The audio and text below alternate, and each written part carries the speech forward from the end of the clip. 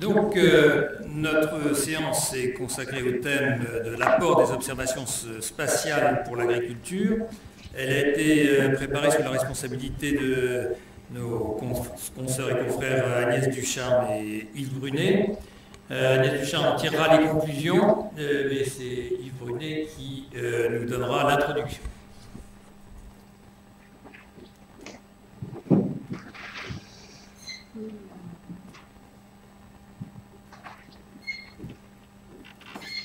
Bien, chers consoeurs, chers confrères, mesdames, messieurs, je vous remercie d'être ici malgré les intempéries. Donc, on ne va pas être très nombreux cet après-midi, mais je vois que la qualité est au rendez-vous.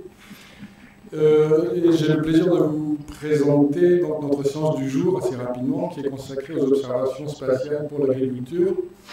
Donc, ce n'est pas la première fois, vous savez, que nous parlons ici de télédétection. La dernière fois, c'était il y a 4 ans. On avait présenté une séance avec un sur le cycle de l'eau à l'échelle globale. Alors, il ne s'agit pas aujourd'hui de faire un lien exposé sur la télédétection en général, mais de centrer notre propos sur les apports de la télédétection à l'agriculture, euh, au sens large, qui inclut la foresterie, donc les apports récents les apports à venir dans un avenir plus ou moins proche. Euh, la télédétection, vous savez, c'est un domaine qui est toujours très actif, qui fait l'objet de nombreuses avancées techniques, et euh, nous assistons, et pour certains d'entre nous, nous participons au développement de nouveaux capteurs, de nouvelles missions. Alors on pourrait multiplier dans cette séance des exemples d'utilisation de, produits de la télédétection pour l'agriculture.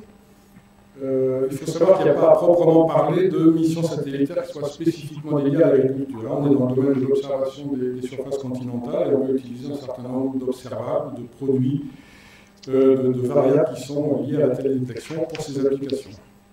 Alors nous avons pris la décision de faire un choix euh, parmi l'ensemble de ce qu'on pouvait présenter ici, de faire un choix qui se prête bien à notre format de, séance du mercredi, et en mettant en avant trois, trois domaines particuliers.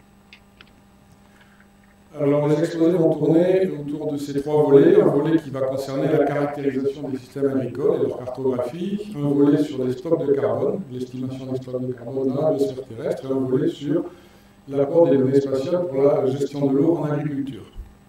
Alors, le premier sera donné par. Euh, ces trois exposés seront donnés par des euh, chercheurs seniors, des directeurs de recherche. Agnès Béguet du CIRAD pour le, premier, Jérôme Cher du CNRS pour le deuxième, et Jean-Pierre Lagarde de l'INRA pour le troisième. Ce sont aussi des domaines euh, qui couvrent différentes longueurs d'onde. Le premier exposé sera surtout lié à l'optique, le deuxième au radar, le troisième à l'infrarouge thermique. Et pour le premier volet, on aura, il s'appuiera beaucoup sur des missions qui sont existantes, donc des satellites qui tournent, qui, donnent, qui produisent des données. Les deux exposés suivants sont plutôt des missions en devenir, euh, dans un avenir, euh, enfin en préparation, donc dans, un avenir euh, plutôt proche pour Biomasse, plutôt un peu moins proche pour Trishna. Donc vous verrez tout ça dans les exposés.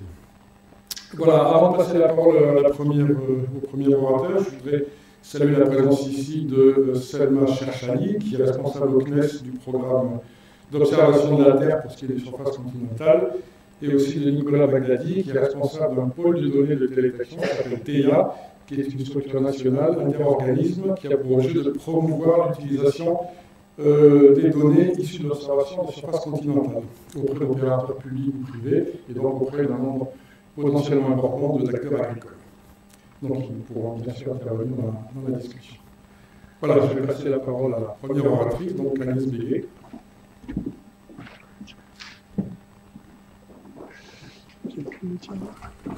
Donc, nous retenons comme méthode de travail d'entendre les, les, trois exposés et d'avoir un débat euh, à la suite des, des trois exposés avant que ne soient tirées les conclusions.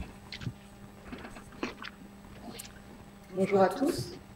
Donc, je vais vous faire un exposé sur la cartographie et la caractérisation des, systèmes agricoles.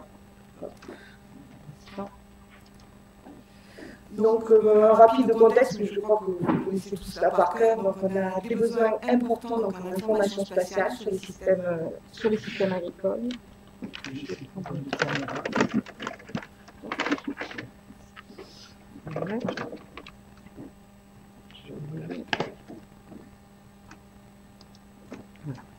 Et donc, euh, ces, informations sont importantes pour comprendre la durabilité de l'agriculture sur un territoire donné. et notamment pour évaluer la productivité de ce système agricole, si on arrive à différencier des systèmes de type agro-industrie à des systèmes plutôt de type agriculture familiale, c'est quand même euh, un indicateur sur la productivité du, système dans certains cas, pour évaluer les risques environnementaux, et tout ça dans un contexte de changement globaux, climatique, énergétique et de compétition pour, les, terres, agricoles. Mais on a aussi des besoins importants d'information spatiale pour suivre l'état des cultures, que ce soit dans un, dans un contexte de sécurité alimentaire, donc à l'échelle globale, continentale, et que ce soit également à des échelles beaucoup plus locales pour des pratiques de type agriculture de précision. Donc le sujet de cet exposé, c'est comment décrire les systèmes agricoles dans l'espace, compte tenu que ces systèmes agricoles ont une grande diversité.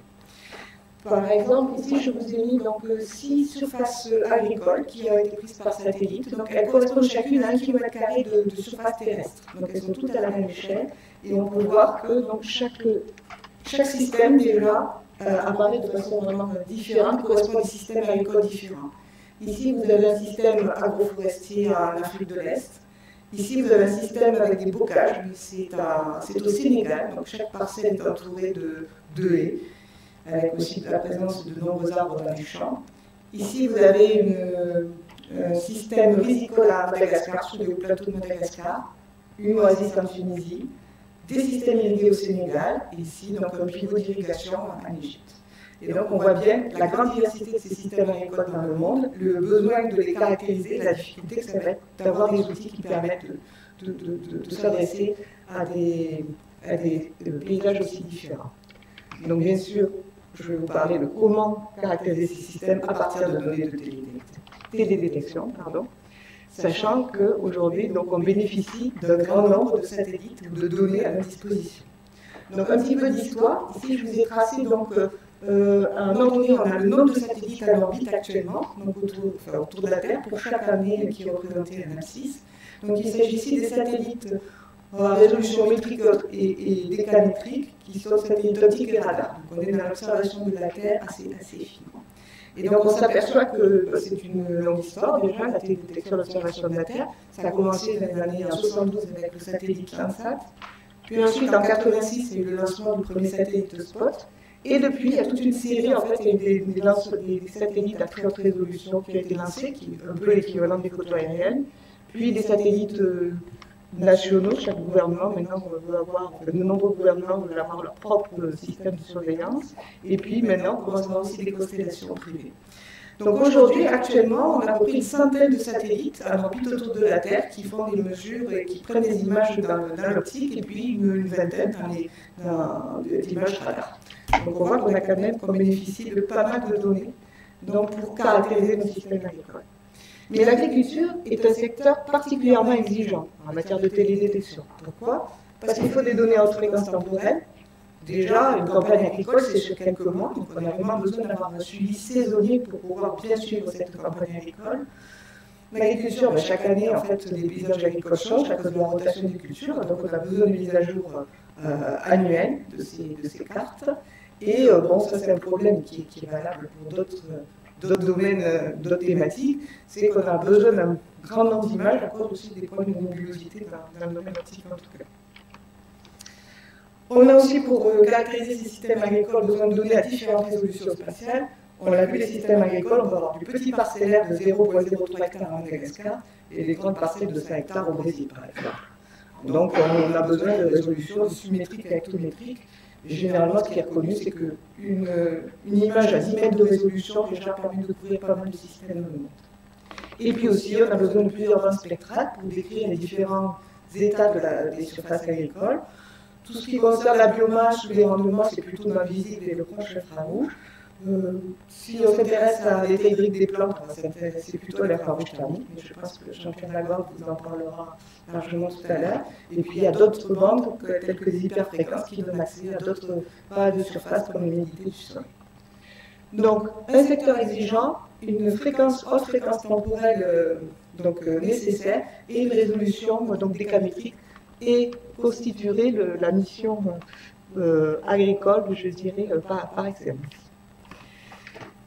Or, donc si je reprends un petit peu l'offre existence en matière d'imagerie de, euh, d'observation de la Terre, Ici, je vous ai fait un petit diagramme qui montre, en fait, c'est la, visite, la fréquence de revisite du satellite, c'est-à-dire euh, tous les combien il va venir imager un point de la Terre en fonction de la résolution spatiale du capteur.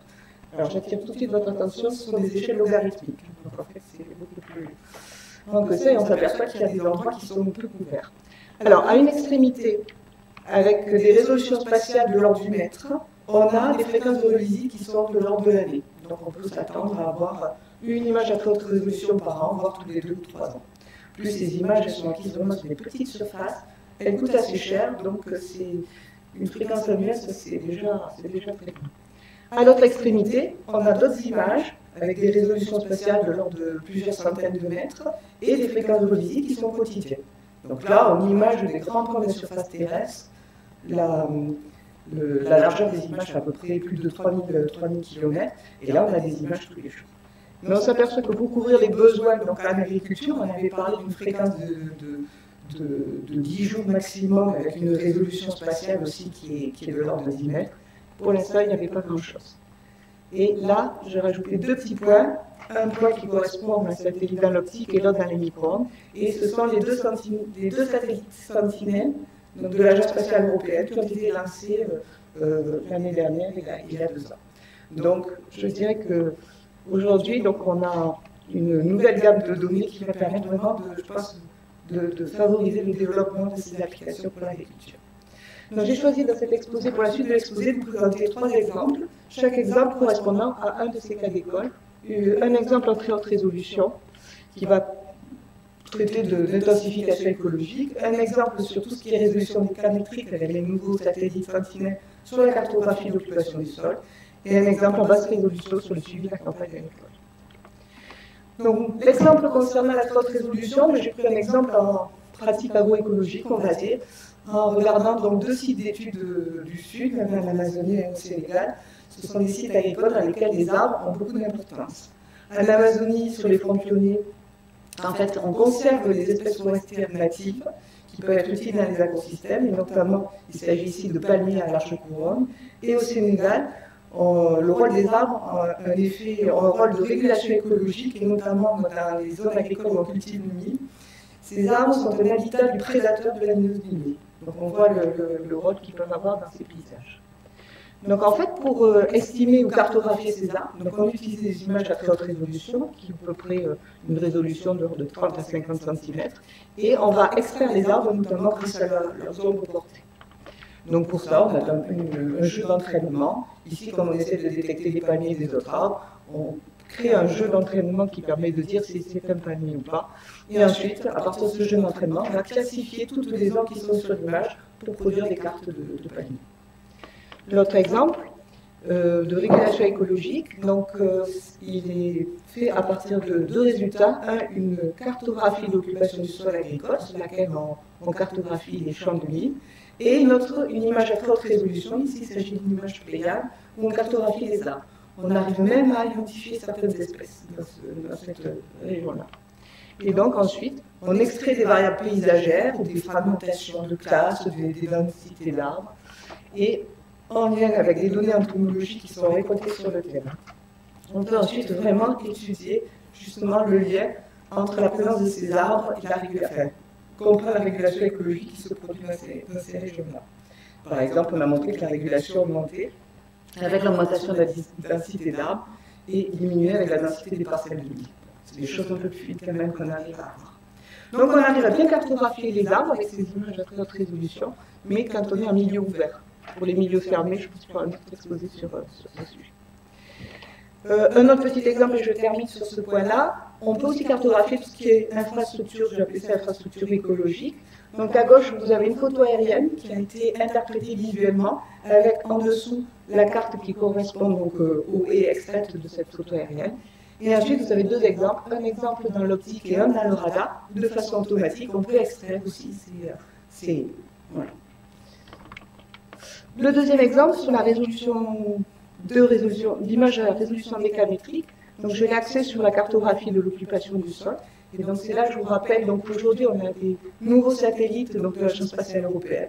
Je vais vous parler surtout de Sentinel-2, qui a un, un radiomètre imageur à son bord avec 13 bandes spectrales, donc même pas mal de description des surfaces, une résolution de 10 mètres et une répétitivité avec deux satellites de tous les 5 jours. De 5 jours.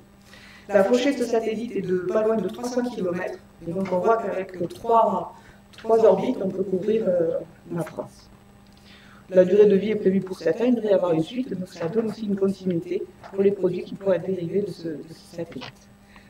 Donc ici, vous avez, euh, j'ai appelé, ça une, une, révolution. Je pense vraiment que pour les gens qui font de la détection, notamment pour le suivi des, des surfaces agricoles, c'est une vraie révolution.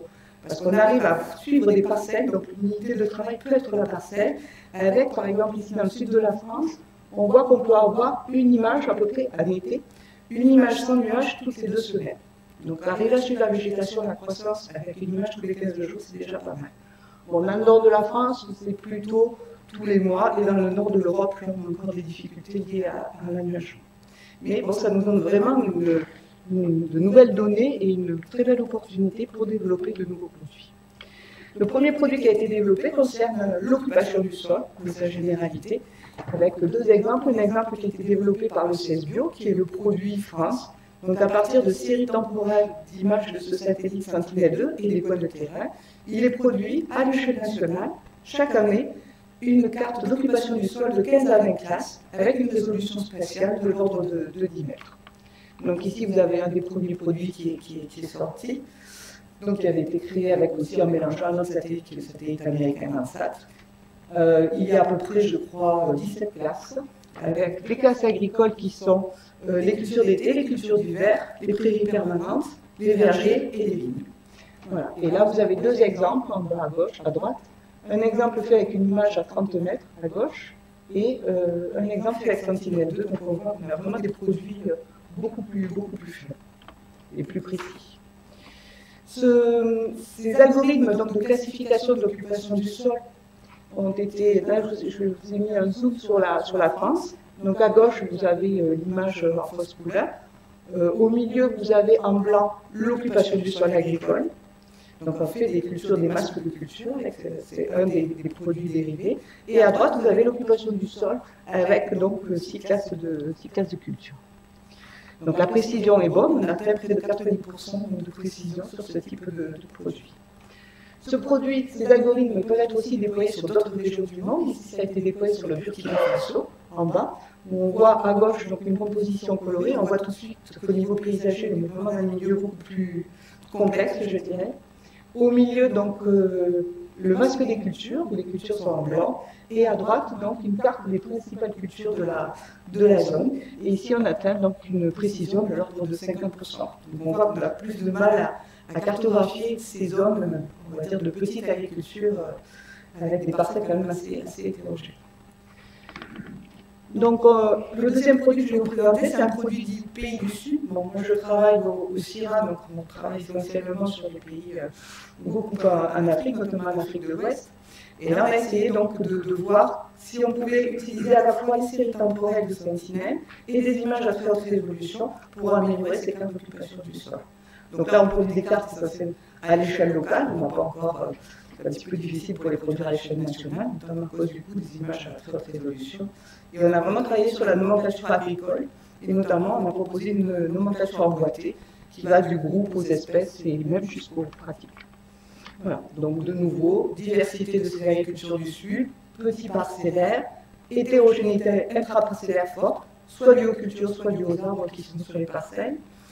Euh, quelquefois, on n'a pas de calendrier fixe en zone tropicale, le climat permet de faire des cultures un petit peu tout au long de l'année, donc on a des calendriers qui se mélangent, c'est pas facile à cartographier.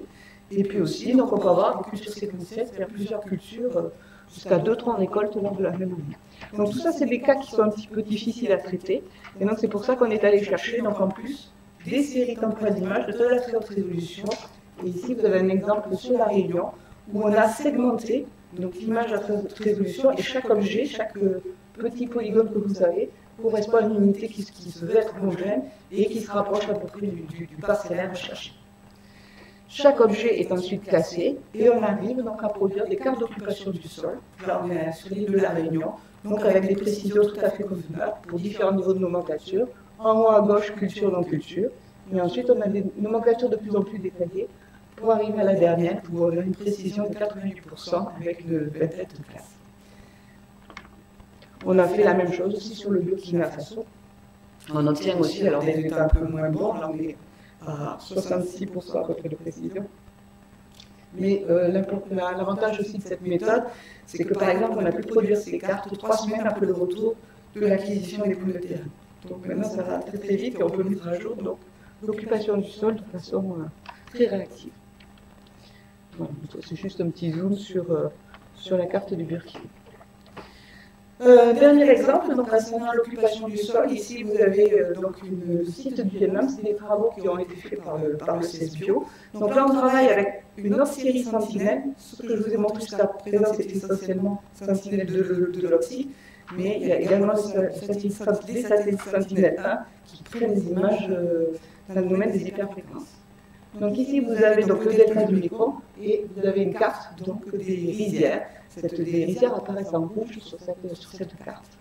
Et en fait, c'est assez, c'est relativement facile à cartographier, parce qu'en bas, vous avez une série temporelle donc, de, de coefficient de rétrodiffusion, qui est, pris, extrait des images, sur deux ans. Et on voit en fait, on voit bien les cycles de culture, qui sont très, très nets. Et en gros, là, on voir aussi qu'on a près trois cultures par, par an. Donc c'est assez facile de repérer le, le riz dans ces conditions. Mais on peut aller plus loin. On peut aussi étudier la variabilité interannuelle. C'est-à-dire d'une année sur l'autre, on a deux cartes qui sont différentes, avec des zones donc en, 2016, avec nettement moins de que l'année précédente, et qui étaient dues notamment en raison de manque d'eau et d'intrusion de sel. Mais également, on peut faire des cartes de variabilité intra-annuelle et donc faire des cartes de stade phénologique du riz. Et ici, vous avez donc une carte également qui présente les, les, le riz qui, peut, qui est à six stades différents au même moment sur, la même zone. Dernier petit exemple pour vous montrer qu'on peut aller au-delà de la cartographie des types de cultures. On peut aussi donc, détecter quelques pratiques culturelles, telles que les couples. Donc ça, c'est Là, on est à La Réunion, c'est une parcelle de canne à sucre. Et euh, donc, à un moment donné, est donné l'indice de végétation, NDVI, qui est un indice de, vigueur de la végétation. Plus les couverts sont denses et plus ils sont verts, plus l'indice de végétation est élevé. On commence, on a une canne bien développée, donc euh, bien verte, avec des indices de végétation assez élevés. Et puis on voit qu'il y a une chute brutale qui correspond à la coupe de la canne. Et donc on a notre indice qui diminue. Ensuite, une fois la canne coupée, elle va, elle va repousser à partir des racines pour de nouveau produire donc, euh, un couvert dense avec un indice de végétation élevé. Donc avec une série temporelle assez fine, on peut détecter les coupes et en plus, on peut également cartographier, non pas les repousses, mais les, plantations de canne. Donc de nouveau, là c'est la courbe en orange, un couvert dense et vert, avec un indice élevé, une coupe, une récolte, et donc on a l'indice qui chute. Et ensuite, vous pouvez voir que la pente de la courbe orange est beaucoup plus faible que celle de, la courbe grise, parce qu'en fait, comme ça a été replanté, la plante doit mettre en place son système racinaire et elle pousse beaucoup plus lentement. Donc non seulement avec ces séries temporelles, on peut cartographier la carte, on peut cartographier les coupes et on peut cartographier aussi les, les replantations. Voilà. Et puis, donc c'était pas mon dernier exemple. Dernier exemple, c'est la détection des surfaces irriguées. Donc ça aussi, c'est un exemple qui nous vient de Toulouse, où on arrive à cartographier les cultures d'été qui sont irriguées ou non irriguées avec une précision. Donc, la dernière application dont je vais vous parler rapidement, c'est l'utilisation d'images à basse résolution, et notamment pour le suivi des campagnes agricoles. Donc là, on se situe à l'échelle régionale, on est dans les systèmes d'alerte précoce. Ici, vous avez un produit type, c'est ce qu'on appelle des cartes d'anomalie de végétation, où pour un pixel donné, on va comparer à la même date euh, la valeur de cet indice de végétation au moment de la prise de l'image aux valeurs du même pixel sur les 15 dernières années, ou 10 dernières années, ça dépend. On va dire, ben, mon indice, il est plus élevé que la moyenne des dernières années ou plus bas. Et donc, ça permet de faire des cartes d'anomalie de végétation où, en, ici, dans les couleurs marron, on a un retard de végétation. Et dans, les, dans on a au contraire soit une, enfin, globalement une augmentation de végétation. Donc ça, pour les systèmes d'alerte précoce, c'est intéressant parce qu'on peut déjà voir où est-ce qu'il y a un problème. Donc ça, c'est basé sur de la télédétection seulement. Il y a aussi d'autres approches qui sont basées sur des modèles de culture. Ici, vous avez un, exemple de produits d'anomalies de rendement qui sont faits à Grimette au Niger de façon régulière. Et on voit bien ici que dans cette, donc ça c'était pour 2017 l'année dernière, on a toute la frange donc euh, on va dire euh, sahélienne qui est quand même en, en déficit. Et lorsqu'on regarde ce qu'on obtient avec les produits satellitaires sur des systèmes de suivi basés sur des systèmes de- sur des images satellitaires, on s'aperçoit qu'en novembre, donc à la fin de la campagne de- agricole, on a effectivement à peu près les mêmes zones qui étaient assez critiques. Donc c'est vraiment des outils et des systèmes d'observation en temps quasi réel qui permettent de, de mettre le doigt sur les zones, les zones. L'idéal, bien sûr, c'est d'aller au-delà des anomalies de végétation et de pouvoir estimer les rendements à ces échelles-là. On a encore un petit peu de mal parce que les gens ne savent pas exactement encore où sont les cultures sur des, des étendues aussi grandes. Mais on travaille là-dessus et notamment, on essaie de combiner à la fois des indices de végétation qui vont nous donner une idée de la quantité de biomasse produite et des indices basés sur l'infrarouge thermique qui, vont nous donner une idée justement de l'état des plantes et notamment donc, de son impact sur les indices de récolte. Voilà. Donc on mélange les deux, des indices de végétation et des indicateurs hydriques, pour essayer donc d'avoir des modèles statistiques assez simples de rendement spatialisé. Donc voilà ce, ce qu'on obtient. Ça, on a réussi à le développer sur du mille à petite échelle. Euh, je, le faire sur des zones plus grandes, c'est encore euh, du domaine de la recherche. On est sur la, sur la bonne voie, je pense. Voilà. Donc ici, vous avez juste pour montrer entre ce qui est observé ce qui est simulé par satellite, on reproduit à peu près les variations interannuelles de la production agricole, ce qui est déjà une information très importante pour les systèmes d'alerte. Donc pour conclure, je dirais que les principales avancées avec ces, nouveaux ces dernières années, notamment grâce à, à la mise sur orbite des satellites Sentinelle, c'est un gros progrès au niveau de la cartographie de l'utilisation du sol. Maintenant, c'est bien cartographier le domaine cultivé, on cartographie assez bien les principales, euh, alors je dirais plutôt les groupes de cultures, cultures d'hiver, cultures d'été, irriguées, non irriguées, céréales euh, ou, ou légumineuses. Mais on arrive aussi à cartographier quelques pratiques agricoles, donc euh, également la détection des coupes, le nombre de, cultures dans une année, les rotations, parce si on a des cartes chaque année, c'est facile de, ensuite d'en- d'estimer des, de produire des cartes de rotation et des infrastructures agroécologiques. En termes d'estimation de rendement, à l'échelle parcellaire aujourd'hui, comme on a une information satellitaire à cette échelle-là, on va vers le couplage entre des images satellites et des modèles de plantes, justement pour spatialiser un petit peu les données d'entrée le modèle de plantes à partir d'images. Et là aussi, je pense qu'on est, on est sur la bonne voie. Bien sûr, il reste encore pas mal de défis, notamment pour la recherche. Toutes ces pratiques, enfin, tous ces produits que je vous ai montrés ont besoin de données d'apprentissage. Donc il faut quand même des données de terrain de qualité. Ça, ça reste un point qui est, qui est, euh, je dirais, enfin, dont on ne peut pas, dont aujourd'hui on ne peut pas se passer. C'est également euh, deux approches. Est-ce qu'on cherche à avoir des méthodes qui fonctionnent pour la diversité des systèmes agricoles que je vous montre aujourd'hui, ou est-ce qu'on va adapter des méthodes vraiment chacun à la complexité des paysages et avoir des choses plus précises Comment mélanger toutes les sources de données avec les sens satellites qui sont actuellement sur orbite On doit pouvoir mélanger certains justement pour, avoir des, des produits un peu, plus, précis. Et comment on met l'expertise, le savoir-faire, les connaissances sur le, milieu agricole que l'on a dans ce traitement des images des défis concernant la gestion des données, tout ça, ça, ça induit de très très gros volumes de données qui ne sont pas toujours euh, utilisables par, par chacun. Et enfin, un des défis les plus importants, c'est comment produire des données utiles, utilisables et utilisées, c'est-à-dire le lien avec les utilisateurs, quels sont leurs besoins en termes de produits, de fréquences, etc. Et ça, la recherche, quelquefois, a un petit peu de mal aussi à travailler dans cette direction. Voilà, et j'ai fini en disant l'offre Google, parce qu'en fait, il existe maintenant des, systèmes de traitement d'image ou des produits euh, Google qui, euh, qui sont de plus en plus répandus. Et c'est aussi pour la recherche un défi de voir comment on se situe par rapport à ces, nouveaux outils. Mais bon, qui dit défi heureusement opportunité. Offre spatiale très large. Il y a des nouvelles techniques aussi de traitement de données, ce qu'on appelle en fait le deep learning qui commence à, à apparaître et qui commence à être, testé sur des images de télédétection. Il y a des traitements qui peuvent être faits en ligne, on n'est pas obligé d'avoir une grosse machine et d'avoir tout sur place. On peut très bien faire des traitements donc, euh, sur des gros serveurs et récupérer le résultat. Et également un contexte institutionnel très porté avec des initiatives nationales telles que l'équipage au sud ou le pôle TEGA, dont nous parlera, je pense, Agnès, tout à l'heure en conclusion. Et puis d'autres programmes internationaux, des programmes de surveillance de l'agriculture à l'échelle mondiale, mais aussi tout ce qui est objectif du développement durable et qui nécessite beaucoup d'informations, qui, qui utilise beaucoup d'informations d'origine, d'images satellites pour, pour répondre à ces objectifs. Voilà, je vous remercie.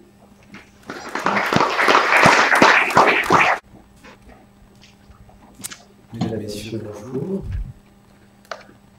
Je vais vous parler euh, d'une problématique qui concerne l'agriculture, la foresterie également, à l'échelle globale, euh, et naturellement aussi euh, d'enjeux qui sont de nature sociétale, sociétaux, pardon, qui sont les changements climatiques et leurs, conséquences et les, enjeux actuels. Donc j'appuie cette première, ce premier exposé sur les rapports du GIEC, que vous connaissez certainement, qui sont réactualisés tous les ans.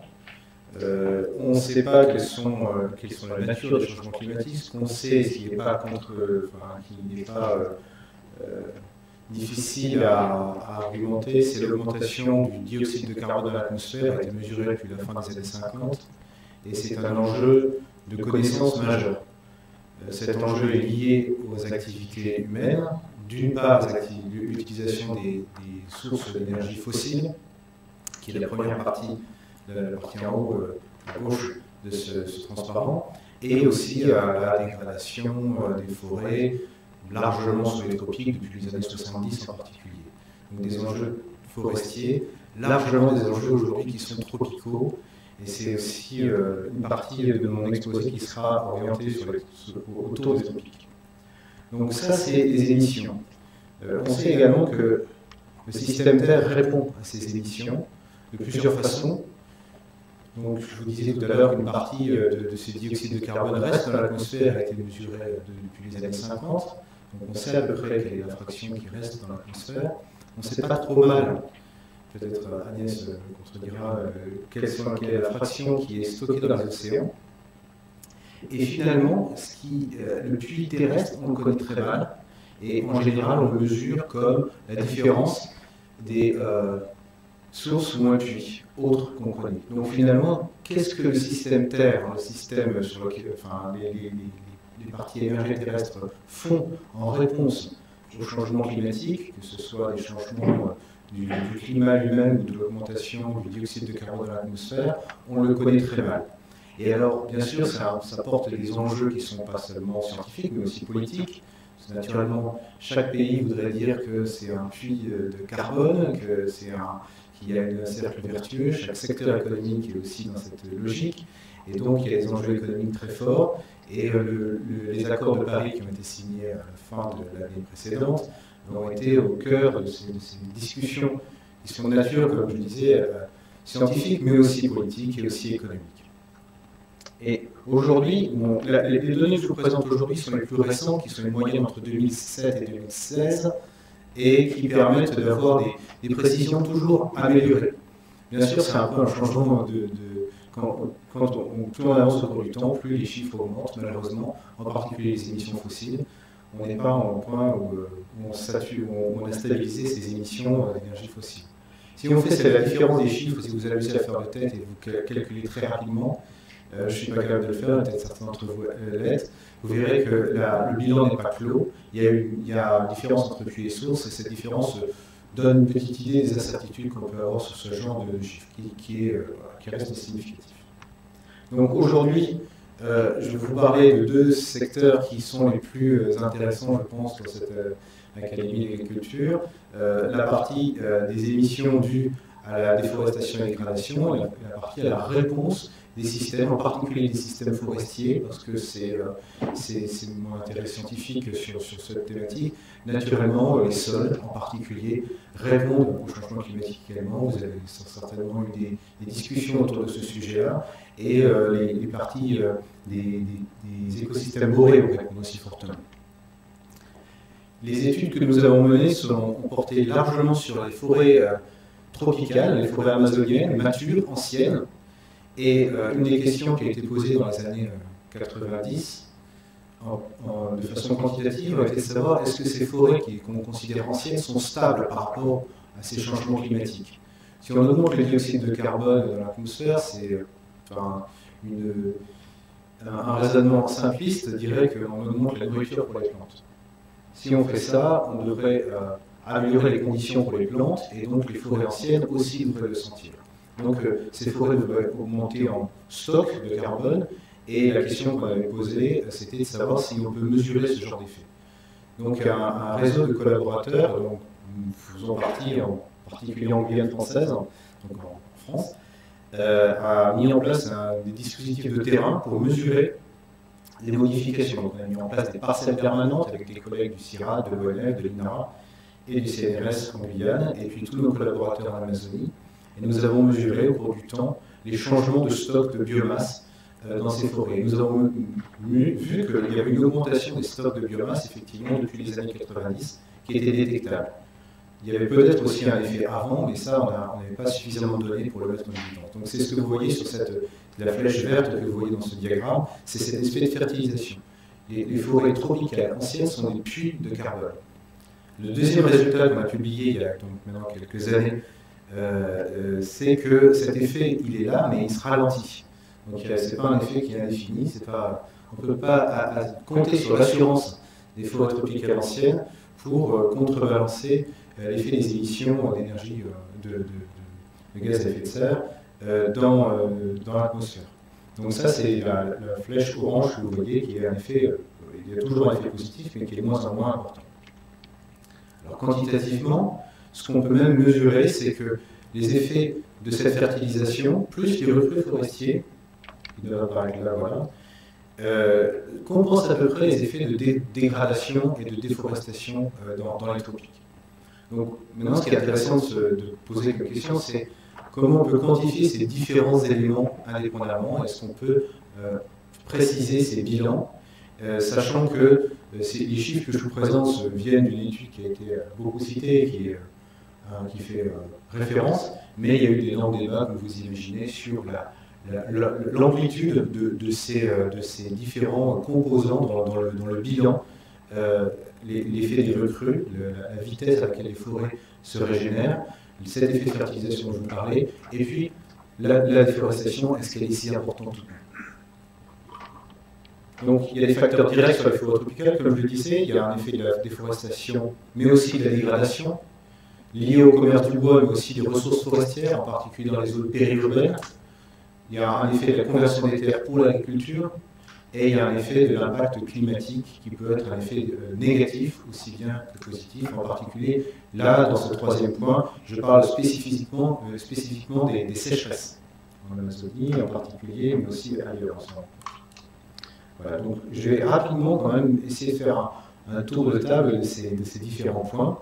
Le premier point, c'est quel est le, un, effet de forçage C'est depuis très longtemps, on sait que la déforestation, ça a un effet euh, fort. Et euh, l'idée euh, préconçue que beaucoup ont, dans le grand public en tout cas, c'est que c'est le commerce du bois. C'est vraiment l'exploitation du bois qui est le facteur principal de la déforestation tropicale. On se rend compte que ce n'est pas vraiment le cas quand on observe les chiffres macroéconomiques que je vous présente ici, qui sortent de, de l'organisation des, de l'exploitation des, bois tropicaux à l'échelle internationale, vous voyez qu'il n'y a, pas vraiment une augmentation du, commerce. Ce commerce est extrêmement fortement corrélé à, la, production d'habitat, euh, en particulier dans, les pays tempérés. C'est vraiment le bois, elle sert principalement aux habitations, et il n'y a pas eu une augmentation très forte euh, de l'habitation en bois. Il y a même une baisse euh, en, Europe de la, de la production et des exportations. en Europe, on parle euh, on, parle de dur ici, on parle essentiellement de, chêne. Mais si vous regardez tous les autres euh, euh, groupes de pays, le seul pays qui augmente un petit peu, et on peut bien comprendre pourquoi, c'est la Chine. Tous les autres pays sont à peu près stables. Donc ce n'est pas un facteur de tendanciel important, c'est l'effet de, l'exploitation du bois, c'est un, facteur qui est fort et qui est maintenu. Le deuxième effet, c'est naturellement les effets de l'agriculture, de l'agriculture intensive. Et là, il y a quelque chose qui est assez intéressant dans ces données qui viennent de la FAO, c'est de, voir que pendant très longtemps, jusqu'au début des années 2000, on n'a pas vraiment eu besoin de plus de superficie de terre arable pour produire euh, des ressources en grains et en, en Par contre, à partir de 2002, il y a eu ce décrochage que vous voyez sur le diagramme de gauche, qui est assez net et qui montre que euh, atteint en fait des, on a atteint un seuil technologique de, faire de, productivité pour certains, euh, certaines euh, semences, cultures, et donc on a besoin de plus de, terre pour satisfaire la demande et, nourrir la planète. le deuxième diagramme montre une chose qui est encore plus intéressante, j'imagine en particulier pour pour l'agriculteur français, j'ai envie de dire, c'est que l'utilisation de l'espace se fait de moins en moins à, cause des céréales et de plus en plus à cause des oléagineux. Et le facteur tendanciel le plus important, c'est celui euh, du panier à qui augmente très rapidement et qui est euh, avec euh, le soja, qui sont les deux oléagineux principaux qui sont en train d'augmenter très vite et qui continuent. Donc ces données sont arrêtées à 2015, c'est avant-hier, on va dire. Vous voyez que donc c'est des effets qui sont tendanciels, qui sont très importants et qui ont des conséquences très importantes sur le monde tropical. Le soja pousse dans des milieux semi-arides, des milieux de, forêts euh, décidues en, général, comme le Cerrado au Brésil, et qui a été très largement impacté par, cette exploitation euh, du soja. Pas seulement, bien sûr, mais en partie. Et euh, le, panier à huile, c'est exactement le même type d'écosystème que les forêts tropicales. Donc là, les superficies sont pas si importantes que ça en valeur absolue, mais l'impact sur les forêts est très important. Et le, deuxième diagramme que je vous ai mis, parce que je sais que j'ai affaire à des agronomes, c'est la productivité. Euh, en bas à droite, vous voyez la productivité en tonnes par hectare euh, dans deux pays principaux exportateurs d'huile de, palme, que sont la Malaisie et l'Indonésie. Vous voyez que l'Indonésie est encore en retard sur la Malaisie, mais la Malaisie sature en termes de productivité, en termes de technologie. La Malaisie a atteint vraiment le, pinacle de la productivité en en panier à huile. Et, si vous regardez les chiffres, c'est assez impressionnant. On parle de 3 à 4 tonnes par hectare euh, d'huile euh, produite par an. Si vous réfléchissez, c'est quand même assez, des, chiffres qui sont assez, assez impressionnants. Donc ça, ça, les, conséquences directes sur le cycle du carbone, ils se voient directement. Ce n'était pas la peine d'aller euh, créer des nouveaux satellites pour, pour vous illustrer ce genre de problème-là. Vous voyez euh, là, on voit les, taux de, perte de forêt par rapport au taux de gain de forêt euh, sur l'ensemble du territoire sud-est asiatique, là où effectivement Malaisie et Indonésie sont les deux principaux producteurs de palmier à huile, de l'huile de palme, pardon, et vous voyez bien qu'il y a eu des pertes de forestières très très importantes, principalement à Sumatra et en grande partie aussi à Bornéo, avec des conséquences euh, sur l'environnement qui sont importantes bien sûr des enjeux de développement qui sont très importants qu'il faut pallier, mais aussi euh, des, enjeux sociétaux, euh, comme par exemple la santé humaine, euh, avec les, effets des fumées qui, sont, qui ont été régulièrement pointés du doigt durant des événements lignaux, dont vous avez dû entendre parler il y a deux ans maintenant. pendant deux mois, la ville de Kuala Lumpur était sous, sous, les fumées parce que bah, les, champs avaient brûlé. Un, deuxième effet qui est important, c'est l'effet euh, qu'on ne voit pas forcément dans les satellites, c'est l'effet de dégradation de l'environnement euh, en sous-bois. Les, satellites classiques ne voient pas forcément la dégradation, la coupe sélective en particulier dans les forêts, ne sont pas forcément vues par les, outils de télédétection optique, parce que la forêt, elle ressemble, ressemble à une forêt, vue de dessus, c'est vert, et c'est une structure qui est assez similaire. Donc il faut aller soit à des résolutions beaucoup plus spatiales, beaucoup plus fines, comme le disait Agnès tout à l'heure, pour commencer à détecter des différences entre les eaux dégradées et les eaux pas dégradées, ou changer de, registre en termes de technologie, et c'est ça que j'aimerais vous parler maintenant. Le dernier point, c'est le, risque climatique. Les forêts sont vulnérables depuis 2003 en moins, et je suis sûr qu'il y a eu des discussions autour de ça euh, dans, cette, dans, cette, assemblée. Euh, il y a eu une énorme sécheresse en 2003 euh, en France qui a conduit à, une surmortalité très massive des, forêts naturelles en France et qui ont généré une prise de conscience à la fois chez les scientifiques et chez le grand public que, la, la, surmortalité des forêts était un problème qui n'était pas forcément un, problème purement académique, mais qui devait être pris en compte, pris en charge par les décideurs. Et ça, c'est un problème qui aussi se porte dans le monde tropical.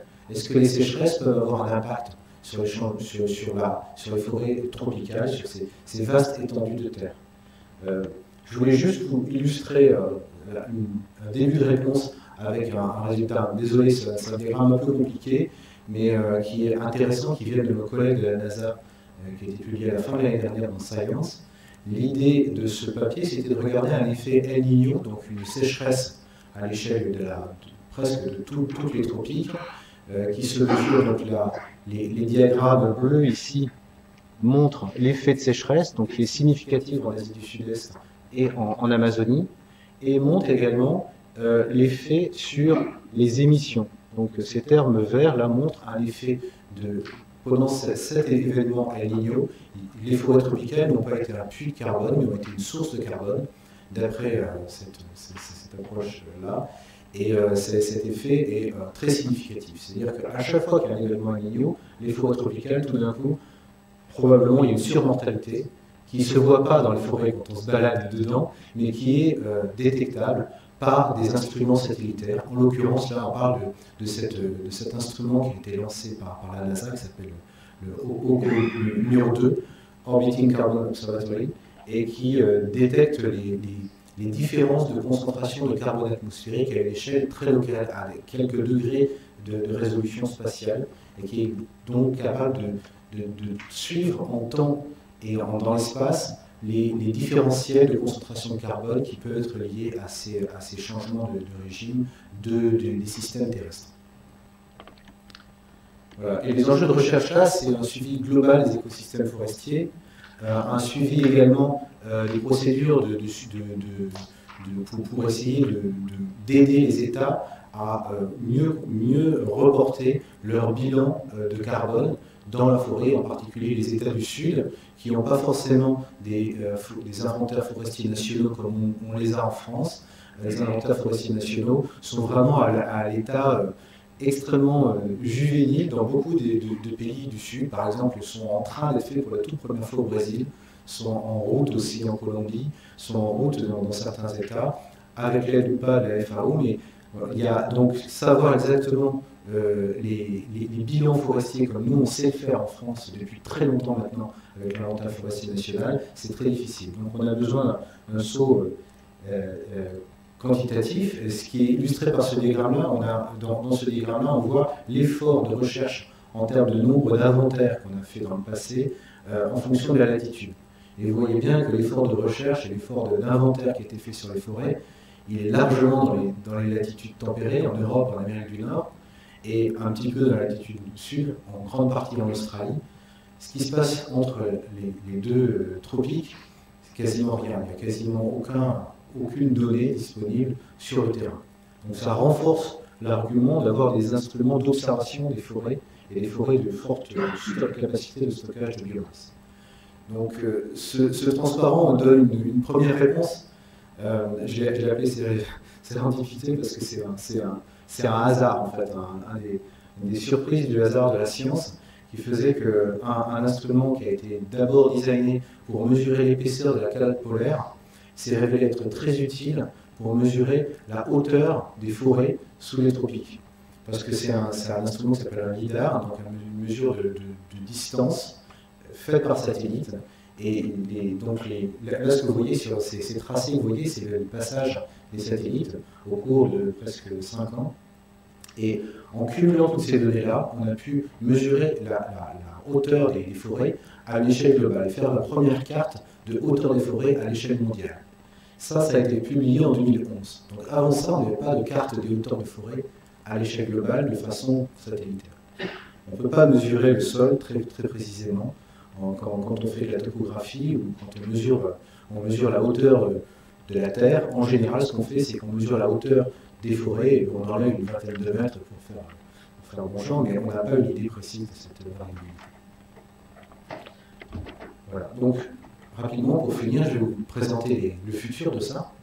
Et là, je n'ai pas de résultats d'exemple à vous montrer parce que c'est des, des, projets d'exploration.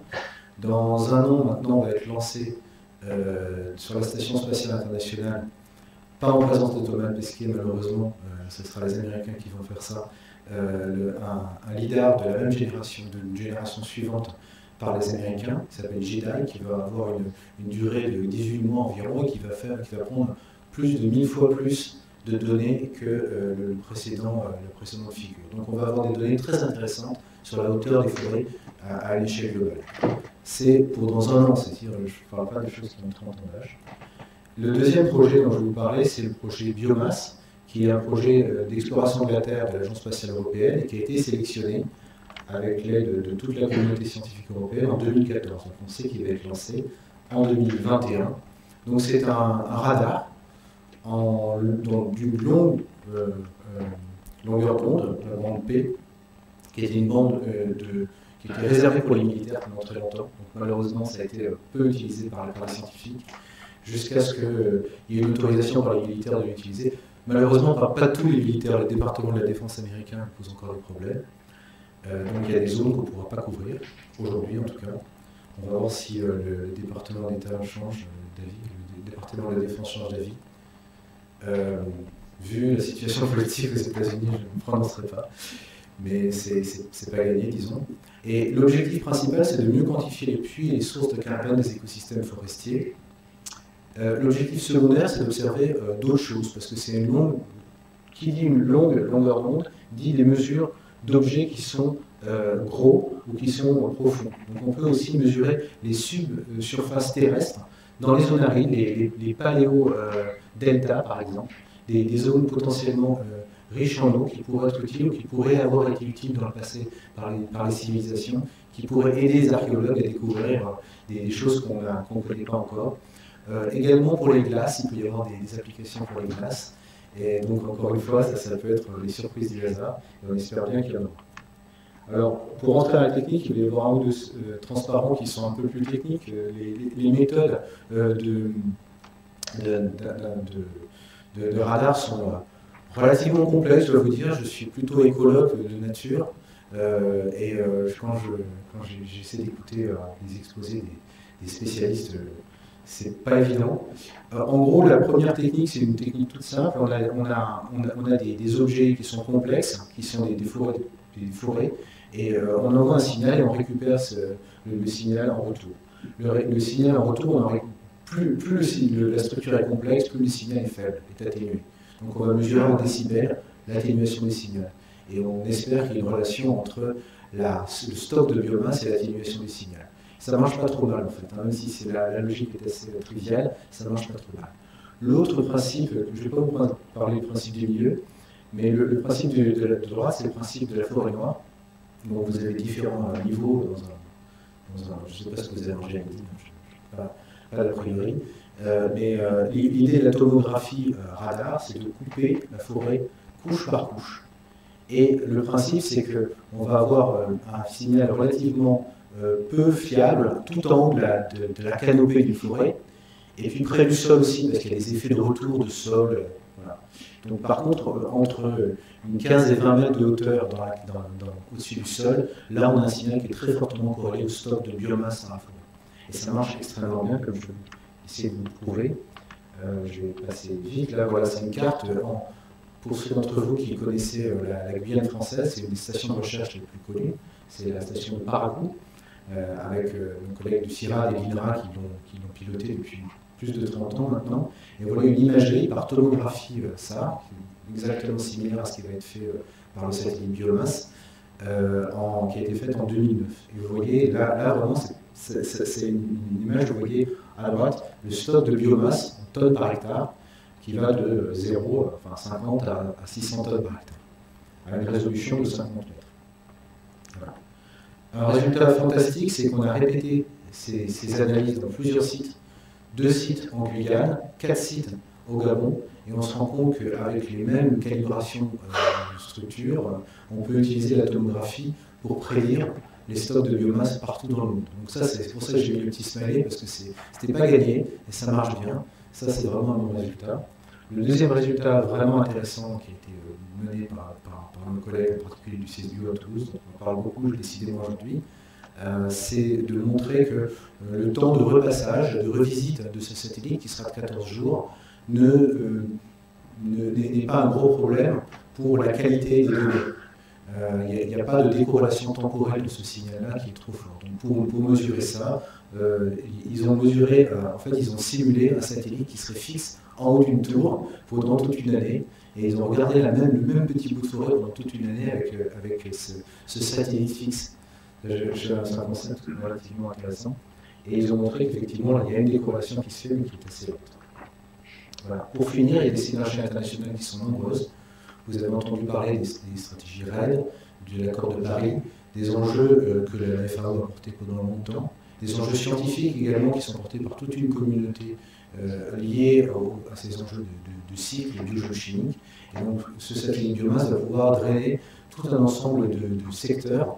Et bien sûr, le secteur agricole est, directement impacté par ça parce qu'on va avoir des moyens de mesurer les changements de stock de biomasse dans les forêts à l'échelle de 50 mètres de résolution spatiale et tous les ans, on va avoir des cartes tous les ans pendant 5 ans, peut-être plus.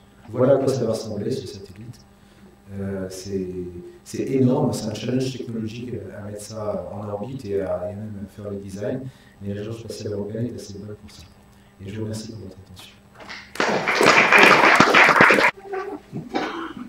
Bonjour à tous. Moi, je vais évoquer l'apport possible et des données d'infrarouge thermique, certes, mais je voudrais aussi insister cet après-midi sur la façon de concevoir une mission future et évoquer tout le travail d'accompagnement qui est mené par la communauté scientifique autour de la, mission. Alors, vous savez tous qu'au niveau mondial, euh, l'agriculture, c'est 60% à peu près de la consommation des ressources en eau, avec une. Euh, avec, alors, cette, cette, je cherche la flèche. Je vois pas la flèche. Alors, voilà, c'est pas ça que je voulais faire. Voilà. Donc avec une, une disparité euh, régionale euh, importante selon la région, disparité en lien avec le pourcentage de cultures euh, irriguées dans les, dans divers pays. Selon la FAO, on a à peu près 20% des zones, des terres agricoles qui sont irriguées et qui contribuent à elles seules à 45% de la production alimentaire mondiale. L'importance de l'agriculture irriguée, c'est une évidence, on peut pas besoin de le souligner, j'imagine. Et cette consommation en eau, ben, elle va aller crescendo euh, dans les années, dans les décennies à venir. On a ici des diagrammes qui montrent l'évolution depuis les années 1900 et on voit l'augmentation euh, énorme de, ces besoins en eau. Alors l'agriculture, ben, elle est très consommatrice en, en eau, hein, surtout pour l'irrigation dans le contexte de sécheresse et de changement climatique actuel on a entendu parler ces dernières années des sécheresses qui ont affecté la Californie, jusqu'à épuisement de certains réservoirs. Une sécheresse qui a duré 3-4 euh, ans. Bon, certains pays sont évidemment soumis à des contraintes très très sévères sur l'eau. On a ici un exemple euh, sur l'Inde où 50% de la, surface doit faire face à des stress extrêmement sévères. Et euh, au niveau mondial, ici une projection jusqu'aux années 2025, pardon, bien, c'est appelé à se continuer, ce besoin en eau, cette contrainte de la sécheresse, euh, est quelque chose à laquelle on, va devoir continuer à faire, à faire face. Alors, qui dit euh, suivi des sécheresses dit une meilleure compréhension du cycle de, l'eau. Et euh, une des composantes clés dans le cycle de l'eau, c'est bien évidemment l'évapotranspiration réelle, hein, qui résulte de la transpiration des plantes et de l'évaporation du sol. Alors cette information sur l'évaporation, pour suivre le cycle de l'eau, on en a besoin à plusieurs échelles. À une échelle régionale, nationale, quand l'utilisation des informations est, faite par des décideurs institutionnels pour des questions de gestion de grands bassins versants, la gestion des barrages, euh, analyse de situations de catastrophes, euh, ou bien encore des, problèmes d'assurance, par exemple, suite à des, dégâts de sécheresse. Mais on a aussi besoin de cette information à une échelle beaucoup plus locale, celle de la parcelle, parce que la, la parcelle, pour l'exploitant, c'est l'échelle de décision. C'est lui qui va irriguer, c'est lui qui va décider de la gestion de, l'eau au niveau de, sa culture.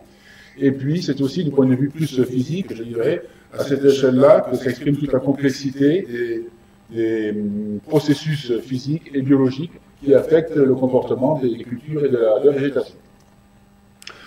Alors, quel est le, paramètre, la, mesure clé qui permet d'estimer l'évaporation?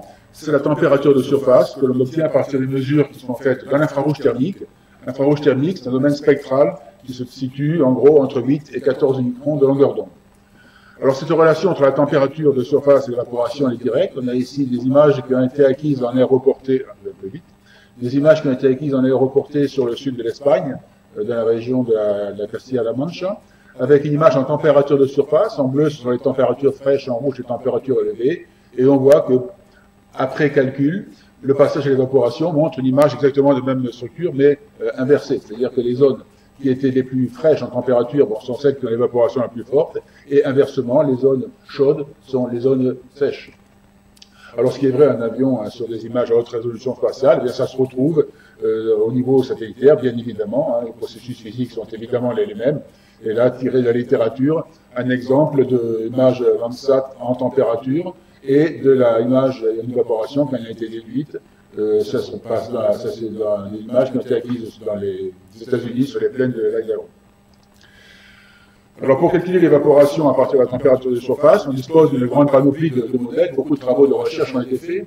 Alors on a ici en premier sur la partie euh, gauche de l'écran des modèles euh, de transfert assez complexes, qui sont des modèles multicouches qui sont des modèles qui intègrent euh, le couplage entre les processus de transfert radiatif et de transfert énergétique dans la végétation, qui font intervenir également certains processus biologiques au niveau des plantes et qui font une description relativement précise du couvert, couvert végétal. Ce sont plutôt des, outils d'études et des modèles de, recherche. Et ensuite, quand on se déplace à la droite de l'écran, eh bien, on va trouver des modèles euh, résistifs. Alors, résistif, ça veut dire que la résistance entre le au transport d'eau entre l'atmosphère et la, surface est simulée de façon électrique, par analogie électrique. Alors, les modèles résistifs, eh deux modèles, deux types en gros. Des modèles dits à une source, auquel cas la, la, végétation et le sol nu sont vus de façon sont confondus, tandis que des modèles à deux sources avec un système de résistance, je rejette ma flèche, un système de résistance un peu plus complexe, voilà, un système de résistance un peu plus complexe permet de distinguer la partie transpiration de la végétation de la contribution évaporation du sol.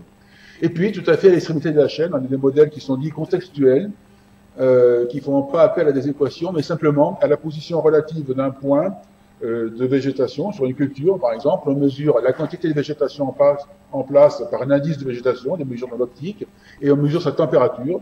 Et en fonction du placement de ce point de fonctionnement, je dirais, de la culture, dans un repère dont on connaît les limites euh, pour le sec et dont on connaît les limites pour l'humide, les limites pour l'humide, on arrive à estimer soit des indices de stress, soit éventuellement remonter à des, à des évaporations.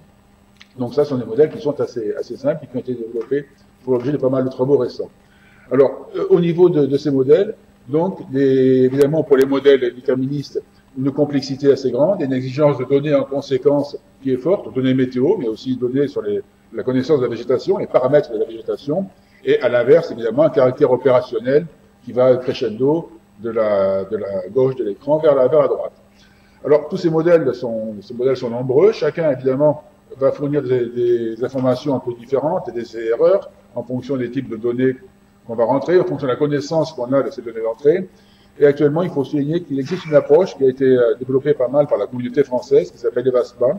C'est une approche ensembliste, c'est-à-dire que c'est un, un, logiciel, en quelque sorte, qui met en jeu tous ces modèles disponibles et qui va fournir non seulement une donnée sur l'évaporation, mais aussi l'erreur possible sur l'estimation de l'évaporation. Alors, ces modèles et ces, donc, ont été mis en, en jeu hein, dans, des, dans des logiciels. Alors ici, on a un exemple d'écran de, de, de, d'Evaspa, hein, de ce logiciel d'évapotranspiration. Il, en existe également des, des, des, logiciels du côté États-Unis, avec un exemple ici qui a été développé par euh, l'université de, de l'Iowa. Alors, comment utiliser ces modèles avec les données de télédétection? Parce qu'un satellite passe à un moment donné et va fournir une simple mesure de température de surface. L'important, c'est de passer de cette mesure instantanée dans la journée à une estimation globale de l'évaporation en millimètres par jour, un cumul journalier. Alors pour ce faire, on s'appuie sur, par exemple, une courbe de rayonnement global hein, qui épouse la forme de l'évaporation, puisque l'évaporation dépend du forçage radiatif. Et pour ce rayonnement global, on connaît le, cumul journalier, et en faisant simplement l'hypothèse que les rapports des valeurs instantanées euh, sont égaux au rapport des valeurs journalières, eh on va pouvoir reconstruire, à partir d'une simple mesure instantanée de l'évaporation par satellite, un cumul journalier qui intéresse l'exploitant. Autre question, euh, problème de revisite, les satellites ne passent pas tous les jours. Problème de revisite, les, satellites, ne passent pas tous les, tous les jours, il y a des problèmes de, de nébulosité, donc sur une séquence, euh, au cours du temps, on va avoir simplement quelques données de satellites et quelques données d'évaporation. Mais ce qui nous intéresse, là encore, quand on fait un bilan hydrique, ben, c'est d'avoir la continuité des informations et de pouvoir faire des cumuls, par exemple. Alors pour ce faire, des méthodes ont été développées qui consistent à partir des données disponibles, des quelques données disponibles et disparates dans le temps, à calculer un indice de, de sécheresse, par exemple, ou à s'appuyer sur une mesure d'humidité du sol, dont on connaît qui aide à une continuité spatiale, et ensuite, à partir de cette interpolation spatiale, de cette grandeur intermédiaire, revenir à une évaporation euh, journalière. Alors ça, ça permet ensuite d'avoir des, de pouvoir faire des suivis temporels continus d'évaporation au cours du temps, puis éventuellement bah, faire des cumuls mensuels, par exemple, voire des cumuls annuels. Alors maintenant, euh, quels sont les besoins en termes de revisite et de résolution spatiale? Si on regarde l'évolution au cours du temps de l'évaporation, on voit qu'elle présente des disparités importantes au cours du temps qui sont dues à la différence des irrigations, les pluies, les forçages météorologiques, le rayonnement, le vent, etc. Alors que l'évolution de la, de liste de végétation, elle est beaucoup plus continue et beaucoup plus lisse dans le temps. Donc si on veut suivre l'évaporation, il va nous falloir des données très fréquentes et idéalement la journée. Mais il nous faut aussi, si on s'intéresse au niveau de l'exploitation agricole, eh bien, une autre résolution spatiale. Ici, un paysage du Gers, par exemple, dans lequel euh, on a pu qualifier que 80% euh, des surfaces seraient accessibles avec une résolution de 50 mètres. Bon, fortiori, on a besoin de résolution encore plus forte pour certains paysages, on va avec l'exposé d'Agnès, euh, en zone tropicale. Ici, il y a un paysage sur la zone Pondichéry. Donc, il nous faudrait une mission satellitaire qui combine à la fois une haute revisite, une haute fréquence de passage, une fréquence d'observation et une haute résolution spatiale. Alors, dans la, panoplie des, dispositifs qui existent actuellement, pour les satellitaires, eh bien, on a, alors sur la gauche de l'écran ici, des satellites géostationnaires qui ont une vocation météo au départ, hein, qui sont en orbite, euh, qui apparaissent fixes pour la Terre, qui permettent de voir le globe entier. Ici, une reconstitution de l'évaporation journalière sur l'Afrique et sur l'Europe. Ensuite, à côté de ces satellites géostationnaires, on a des satellites à défilement qui passent par l'épaule et qui font le tour de la Terre en continu avec des satellites qui ont une résolution kilométrique, du type HRR, du type euh, VIRS. Donc, leur avantage, c'est de passer tous les jours, mais ils ont une résolution de kilomètres. Euh, mais l'avantage, c'est la journée, la visite journalière qui est assurée. Et puis, à l'extrême, il y a des satellites d'observation, dits d'observation à la Terre, qui, quand ils sont équipés de capteurs thermiques, c'est pas le cas, c'est le cas de très peu d'entre eux, permettent d'avoir des résolutions, d'atteindre des résolutions de la centaine de mètres, mais avec des visites de fréquences de passage qui sont seulement de 18 jours, qui font que compte tenu des problèmes de luminosité, on a deux images par an, ce qui est parfaitement impropre à un problème de, des questions de suivi de l'évaporation à des fins, des fins agricoles. Alors nous, ce qu'on essaie, essaie de développer, c'est une mission qui combinerait la journée et la centaine de mètres de résolution. Alors on sait faire quand beaucoup de choses dans le thermique, mais surtout avec les, jusque-là maintenant, les exemples d'opérationnalité, ils ont été surtout démontrés avec les, les données de satellites géostationnaires. On a ici sur la partie gauche de l'écran un exemple de données d'indice de, stress sur les États-Unis euh, qui a été obtenu à partir du, géostationnaire GOES, hein, qui, euh, se, situe sur le, continent américain. Et on a la comparaison, ça c'est sur la colonne ici, et avec la colonne du milieu, on a la comparaison avec un système de suivi d'état hydrique et de sécheresse qui est fait par des systèmes d'observation en sol et de placettes, hein, sans données satellitaires. Donc on voit que les satellites apportent une information euh, très très bonne comparée au réseau euh, Sol, et peut-être avec une variabilité spatiale plus importante. Bon, de même, avec des données, alors le même type encore, des données géostationnaires, à la résolution de 3 à 5 km, et bien on a ici un exemple de ce qui peut être fait sur la comparaison de deux années de sécheresse, en 2000, une année sécheresse 2011 par rapport à l'année normale 2012 sur la France, et on voit très bien, entre les mois de mai et les mois de juin, le développement de zones stressées surtout le nord et le centre de la, France. Euh, à partir des données stress hydrique, je reviens ici à un exemple donné par la NASA aux États-Unis, à partir des données stress hydrique au cours des années successives 2000, 2005, 2001, 2007, là ce sont sur la première ligne des données de, stress, ici jusqu'aux années 2012, et eh bien on a pu tirer une information ou introduire l'information stress hydrique dans des protocoles d'estimation de la, production. Donc une application qui va jusqu'à les applications de sécurité alimentaire, par exemple. Alors, on sait donc qu'on a donc dans les travaux thermiques un bon savoir-faire, mais il nous manque toujours cette, haute, cette mission haute résolution spatio-temporelle, après laquelle on court depuis une trentaine d'années. Les premiers travaux là-dessus, en réponse des appels à du CNES, ont été menés. Ah, je vais aller un peu loin. Oula. Voilà. Les premiers travaux euh, en réponse aux appels à idées du CNES ont été menés dans les années 90, euh, en particulier l'initiative de, de l'INRA, mais également toute la communauté française. Euh, ça a débouché dans les années 2010 sur un programme avec la, NASA, un projet CERSI, donc euh, avec le GPL en, Californie. Mais euh, ce projet a, été interrompu puisque l'instrument thermique qui était destiné à aller sur le satellite euh, défilant, eh bien, il a été mis sur la station internationale par la NASA dans le cadre d'autres programmes, donc plus d'instruments thermiques, fin de, de, de l'épopée. Et maintenant, euh, CNES a développé une collaboration avec l'agence spatiale indienne, l'ISRO, pour développer une mission, Trishna, hein, qui vise encore, évidemment, à la haute résolution spatio-temporelle. Alors, euh, avant d'évoquer la façon de travail, finalement, de, développement d'une mission, je voudrais euh, rappeler les, les objectifs, euh, les objectifs intéressants par rapport à notre problématique de aujourd'hui. Donc, une telle mission dans le domaine de l'agriculture et de la, foresterie, évidemment, on a un temps qu'elle favorise, qu'elle aide le développement de la détection du stress hydrique, ensuite pour déclencher des irrigations, pour estimer les besoins des cultures en eau et pour optimiser l'irrigation. Donc ça, j'imagine que ça n'échappera à personne d'entre vous dans cette assemblée. Ça permet évidemment de, gérer les ressources en eau. On a des exemples hein, de l'estimation de pompage qui a été faite, par exemple, à partir de l'infrarouge thermique. Ici, un exemple aux États-Unis, avec euh, tout un réseau de, champs, et chaque champ a son station de, de pompage. Euh, le graphique en dessous montre euh, l'évaporation calculée par les données LANSA, par satellite, à partir thermique. Et pour chaque parcelle, on a représenté également les droits de pompage qui étaient accordés à la parcelle. Et on voit que toutes les parcelles, on avait un rouge ici, qui dépasse la ligne 1, la ligne 1 qui dépasse le droit de pompage, et bien, ce sont des parcelles pour lesquelles il y a eu un pompage en, excès, donc euh, application au contrôle, application à la gestion de, l'eau, selon les, de, côté où on se place.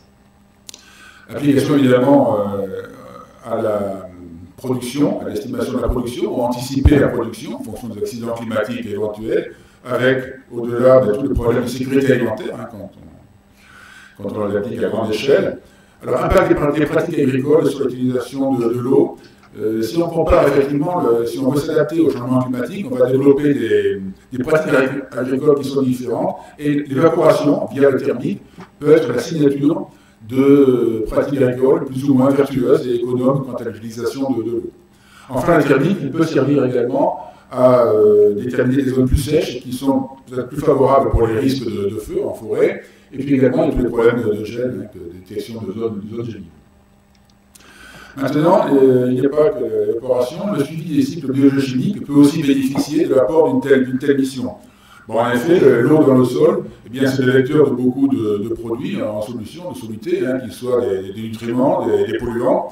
Et donc, par couplage avec des modèles euh, de transfert, euh, sol-atmosphère, eh bien, on peut arriver à maîtriser un peu mieux les problèmes de transfert de l'eau dans le sol et indirectement les problèmes de transfert de, de soluté avec euh, finalement les informations sur la qualité de l'eau et la pollution et la qualité des sols. Bon, l'évaporation et les cycles du carbone sont évidemment étroitement liés, donc ce sont des données qui pourraient avoir intégré des scénarios d'études pour le réchauffement global. Et puis enfin, un point important, c'est le permafrost, puisque la fonte des permafrost en zone arctique, alors c'est moins l'agriculture, mais cette fonte de permafrost va s'accompagner de dégagement de, gaz carbonique et de, de, méthane, qui sont deux gaz à effet de serre puissant, le méthane en particulier, et donc ils vont entraîner des effets de rétroaction très négatifs. Application hydrologie, évidemment, hein, puisque la connaissance de l'amélioration du cycle de, de l'eau à l'échelle de la parcelle va permettre de mieux estimer les problèmes d'infiltration, mais aussi de ruissellement et d'écoulement.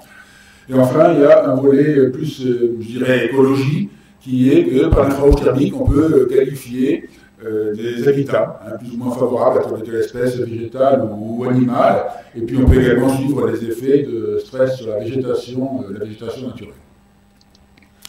Un autre exemple, avant de passer au travail d'accompagnement et de préparation des missions, ici un travail qui a été réalisé par les collègues d'Avignon, euh, c'est de la recherche, des, nappes dans la région de la Croix, dans le sud-est de la France. On a ici en bleu, je crois, une évaporation qui a été mesurée sur des sites, puis en vert, l'évaporation qui a été calculée par satellite. Bon, on voit que ça valide la donnée satellite. Et la, la donnée satellite ayant été introduite dans un modèle euh, de géologie euh, nappes, hein, du BRGM, eh bien on voit qu'on peut simuler ici avec cette marge d'erreur en vert les hauteurs de nappe qui correspondent très bien avec ces mesures de hauteur de nappe faites par des, des piézomètres, par exemple. Donc une application intéressante pour la, pour la, géologie, pour l'hydrogéologie. Alors maintenant, euh, pour euh, terminer l'exposé, peut-être on va rentrer dans ce qui est le, quotidien du groupe de mission, du travail scientifique de, de préparation d'une telle, telle, mission. Donc une telle mission, ben, elle, répond évidemment, elle est, conçue en fonction des exigences utilisateurs, en fonction des, contraintes euh, d'utilisation, en fonction des contraintes du signal aussi. La température de surface, c'est un signal qui peut avoir un comportement un peu bizarre, on va l'illustrer. Et puis en même temps, en face de ça, on a des contraintes qui sont liées au spatial, des contraintes de détecteurs, des contraintes de, de lanceurs, de, de, faisabilité, des contraintes technologiques, des contraintes de coût. Et la conception de la mission va se faire par un échange permanent entre ben, ces demandes des utilisateurs et puis les contraintes du spatial. Quatre exemples, juste pour illustrer ça. Un premier, euh, qui est assez original, qui est euh, l'étude de l'impact de, l'écoulement du vent, hein, l'écoulement turbulent sur la température de surface. Donc, vous savez tous qu'un champ de, de blé ou de, je sais pas quoi, de lin peut-être, hein, sous l'effet du vent ondule, et cette ondulation de la culture, c'est dû au passage de, de bouffées de, tourbillons de, vent. Donc c'est la turbulence des écoulements atmosphériques des écoulements sur la, sur la végétation. C'est connu, c'est un effet mécanique, mais on a la même chose sur, les, sur la végétation dans la thermique. Une expérience ici avec une caméra infrarouge montée sur un, support qui vise un champ de maïs. Eh bien, on voit que, c'est un accéléré évidemment, à une seconde pour une minute, mais on voit que la surface présente des vagues de, température, hein, qui, sont des, qui, correspondent tout à fait au mouvement qu'on avait sur la, sur la, sur le champ de blé qu'on appelle les tsunamis. Donc ça veut dire qu'il y a une amplitude qui fait plus ou moins 3 degrés, 6 degrés en tout entre le rouge et le noir. Donc il importe de bien prendre en compte ces choses-là, puisqu'on va mesurer un signal qui par nature est un peu fluctuant. Donc on a développé une étude où en traitant toutes ces images de la caméra acquise à haute fréquence, on a pu, en regroupant les, pixels des images de haute résolution en diverses résolutions, on a pu simuler des évolutions temporelles de la température sur des périodes de 10 minutes et à diverses résolutions spatiales. Alors, il faut bien comprendre qu'ici, on a une trace qui fait à peu près 10 minutes. Le satellite, lui, qui voit les km secondes, va faire une mesure instantanée à un moment ou à un autre. Donc, il peut tomber soit sur un pic, soit sur un creux. Donc, il y a une erreur inévitable que de la mesure sanitaire qui est due à cet effet de turbulence. Mais cette erreur, elle va être quand même plus ou moins limitée sur la résolution, et on voit qu'à 50 mètres, elle est beaucoup plus acceptable qu'à 5 mètres. Ces résultats, ces effets de turbulence sur le couvert végétal, ils ont été confirmés par des travaux de modélisation, et ici on a un champ de turbulence en température sur un échantillon de 3 km par 3 km de pain maritime, par modélisation. Alors ça, c'est des impacts importants pour le système spatial. Bon, ça veut dire que ça fixe une résolution à 50 mètres. La résolution, va fixer l'altitude de l'orbite, le télescope qui est à bord de l'instrument, donc la taille le poids de ce qu'il faudra embarquer, donc finalement la taille du lanceur. Ça peut avoir des impacts très. Ce sont des, décisions qui ont des impacts forts en matière de, lanceur et d'émissions, hein, jusqu'au bout. Et puis également pour la calibration, la validation des données satellites, puisque quand on va comparer les mesures satellites avec les mesures ponctuelles au sol, la mesure ponctuelle qu'on va réaliser avec le petit instrument, euh, eh bien, va également être ces fluctuations-là. Un autre effet important, c'est les effets directionnels, euh, schématisés ici euh, en haut. Euh, selon que vous regardez une surface végétale, quelle qu'elle soit, avec le soleil entre guillemets dans le dos ou le soleil en face, eh bien vous allez voir plusieurs euh, des zones, plus de zones éclairées le soleil dans le dos, donc plus chaudes, alors que si on observe la surface entre guillemets encore à contre-jour, vous allez voir plus d'ombre et donc elle va apparaître plus froide. Et on va voir des effets de température qui vont être différents la direction dans laquelle on va faire effectuer la mesure. Et ça, on le voit très bien sur ces images ici qui ont été obtenues par un drone sur un peuplement forestier, on voit sur la partie ici de l'image, dans le visible, comme dans le canal thermique, on voit une partie qui est plus chaude et qui correspond à un effet qu'on dit de hotspot. Alors je ne vais pas beaucoup détailler ces choses-là, mais on a pas mal travaillé à partir de mesures aéroportées euh, sur ces effets-là. Alors sur plan maritime, par exemple, eh on voit que les effets peuvent atteindre 4 à 5 degrés selon les angles de, de. Et on voit ici sur deux images, sur deux euh, mesures qui ont été réalisées en milieu de journée et en fin d'après-midi, on voit que cette tâche chaude, la direction de cette tâche chaude, ben, elle se déplace avec les déplacements du soleil au cours de la, la journée. On a également fait des mesures sur des vignobles dans les, Médocs, et sur l'orientation des rangs, ben, on voit que les effets directionnels sont très variables selon qu'on va scanner la, la satellite, va scanner le sens du rang perpendiculairement au rang, et va avoir davantage de parois de, de vignes. Alors ces effets directionnels, on commence à les modéliser, mais il y a encore beaucoup de travaux à développer pour préciser la forme des, des hotspots. Ils ont un impact euh, important en zone tropicale du fait du déplacement du soleil qui va se retrouver dans le plan de balayage des satellites. Je ne rentre pas davantage les détails d'orbitographie. Application pour les systèmes spatiaux importante, puisque c'est effets directionnels pour les minimiser, pour s'en affranchir en partie. Et il va falloir choisir des orbites bien, particulières qui permettent euh, que la même parcelle soit observée dans des configurations angulaires différentes, ce qui permet de s'affranchir en partie des configurations les plus néfastes de hotspots. Et puis ça a également un impact sur la validation des, des satellites. Une fois que le satellite est en orbite, il faut faire des validations qui respectent ces contraintes directionnelles. Avant-dernier exemple, la revisite satellite, ça aussi ça se justifie. Euh, pour étudier la la première euh, contrainte évidemment c'est la nébulosité. On l'a étudié de diverses façons, à partir de masques de nuages euh, On l'a également utilisé, à, testé à partir de données de rayonnement qui étaient acquises sur un réseau agroclim de, de avec un critère, nous, au début on avait choisi, c'est un peu arbitraire, mais on voudrait un jour clair tous les cinq jours, de, tout, par période de cinq jours. Et on s'aperçoit en fait que euh, eh bien, il faut vraiment des mesures journalières pour arriver à avoir ce critère respecté, surtout dans le sud de l'Europe, et que même dans le nord de l'Europe, c'est difficile. Il y a également une autre raison pour laquelle il nous faut une revisite élevée, c'est le fait que comme le signal d'évaporation, on l'a vu tout à l'heure, de température est très variable dans le temps, du fait du forçage météorologique, du fait des pluies, du fait de la succession d'irrigation, eh il y a intérêt à avoir le maximum de mesures possibles. Un jour, et la fréquence optimum, mais là, on se heurte à une, contrainte spatiale très forte qui fait que un jour, on ne peut pas avoir une couverture globale de la Terre. Et si on veut une couverture globale de la Terre, eh bien, on ne peut pas faire mieux que trois jours. Euh, sinon, il faudrait des angles d'ouverture de balayage satellite énormes qui seraient complètement pénalisants en matière de, sur les bords de fauchés. On aurait des, dégradations considérables du, signal qui sont parfaitement inacceptables. Donc, trois jours obligatoires imposés par, l'orthographie. Dernier euh, élément de, exemple d'illustration d'éléments de choix, l'heure de passage, ça avait fait de pas mal, ça avait fait l'objet de pas mal de débats dans les discussions avec, les, avec la NASA lors de projet sorti, puisque nos collègues américains voulaient faire une mission thermique à 10h15 du, matin, à l'heure dans ça, pour des simples raisons de continuité d'émission. Et nous, la communauté n'était pas très d'accord, euh, la communauté française et certains collègues américains non plus, parce qu'il s'avère que c'est aux alentours de 13h qu'on a le maximum de sensibilité sur la détermination du flux. Donc c'est vraiment l'heure la plus favorable, 13h, 14h, en début d'après-midi, pour déterminer les flux.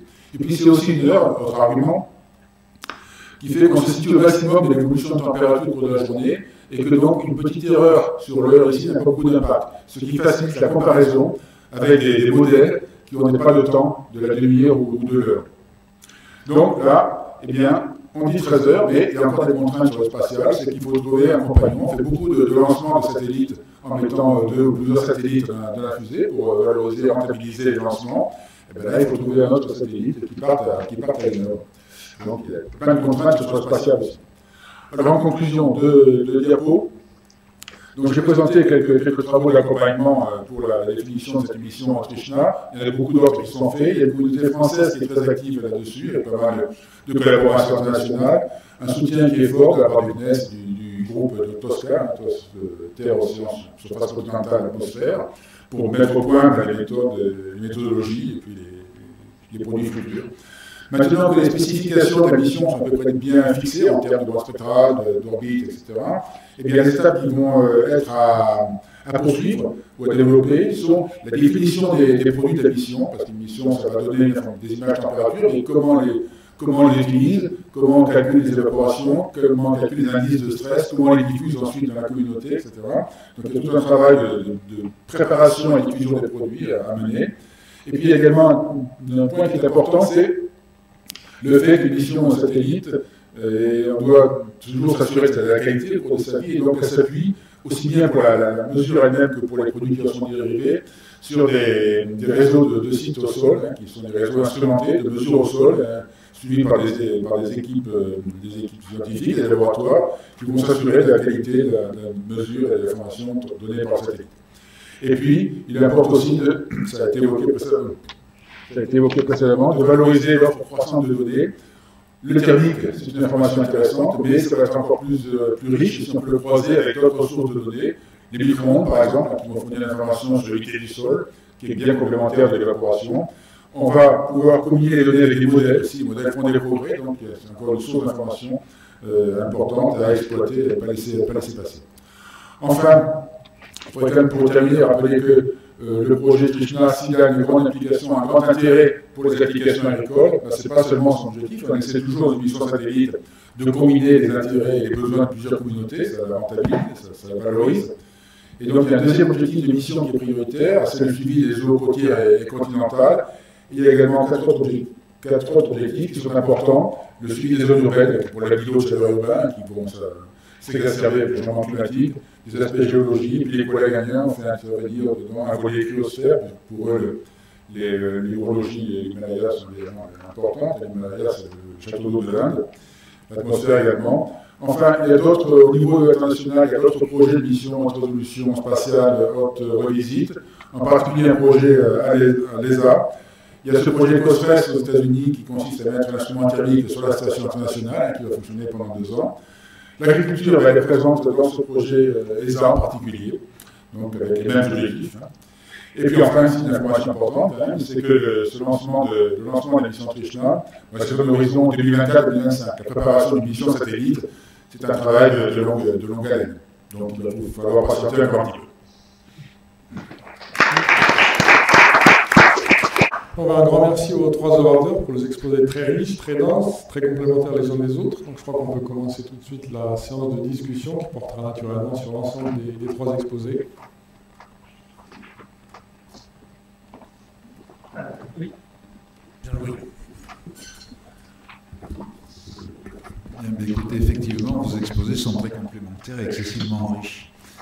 Alors, je profite du fait qu'aucun doigt ne se lever pour tirer la couverture à moi et essayer de ramener le sujet sur quelque chose qui me passionne et de manière à savoir si les travaux que vous menez peuvent nous donner quelques perspectives.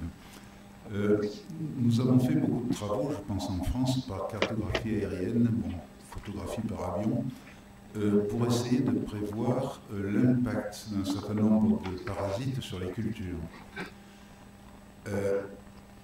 Euh, vous êtes nettement plus haut que les avions en général dans, vos approches. Euh, je pensais à deux cas en particulier. Euh, nous avons en Europe un problème à gérer au niveau de l'ensemble des pays méditerranéens sur les maladies du bois de la vigne, qui aujourd'hui euh, ou obèrent notre production viticole dans une échelle de 15 à 20 C'est-à-dire on perd 15 à 20% du vin que l'on pourrait produire à surface égale en fonction du développement des maladies du bois de la vigne. Nous avons un autre problème à gérer aussi, c'est l'éventualité d'un retour de la jaunisse nanifiante des orges et des blés. C'est-à-dire c'est une maladie qui peut impacter le rendement à hauteur de 50% lorsqu'elle s'installe. Donc tout cela peut très bien s'observer par une cartographie aérienne menée par avion. Alors dans l'état actuel de vos connaissances, ma question c'est plutôt pour Madame Béguet, mais pas forcément, je crois que tout le monde peut avoir sa version là-dessus.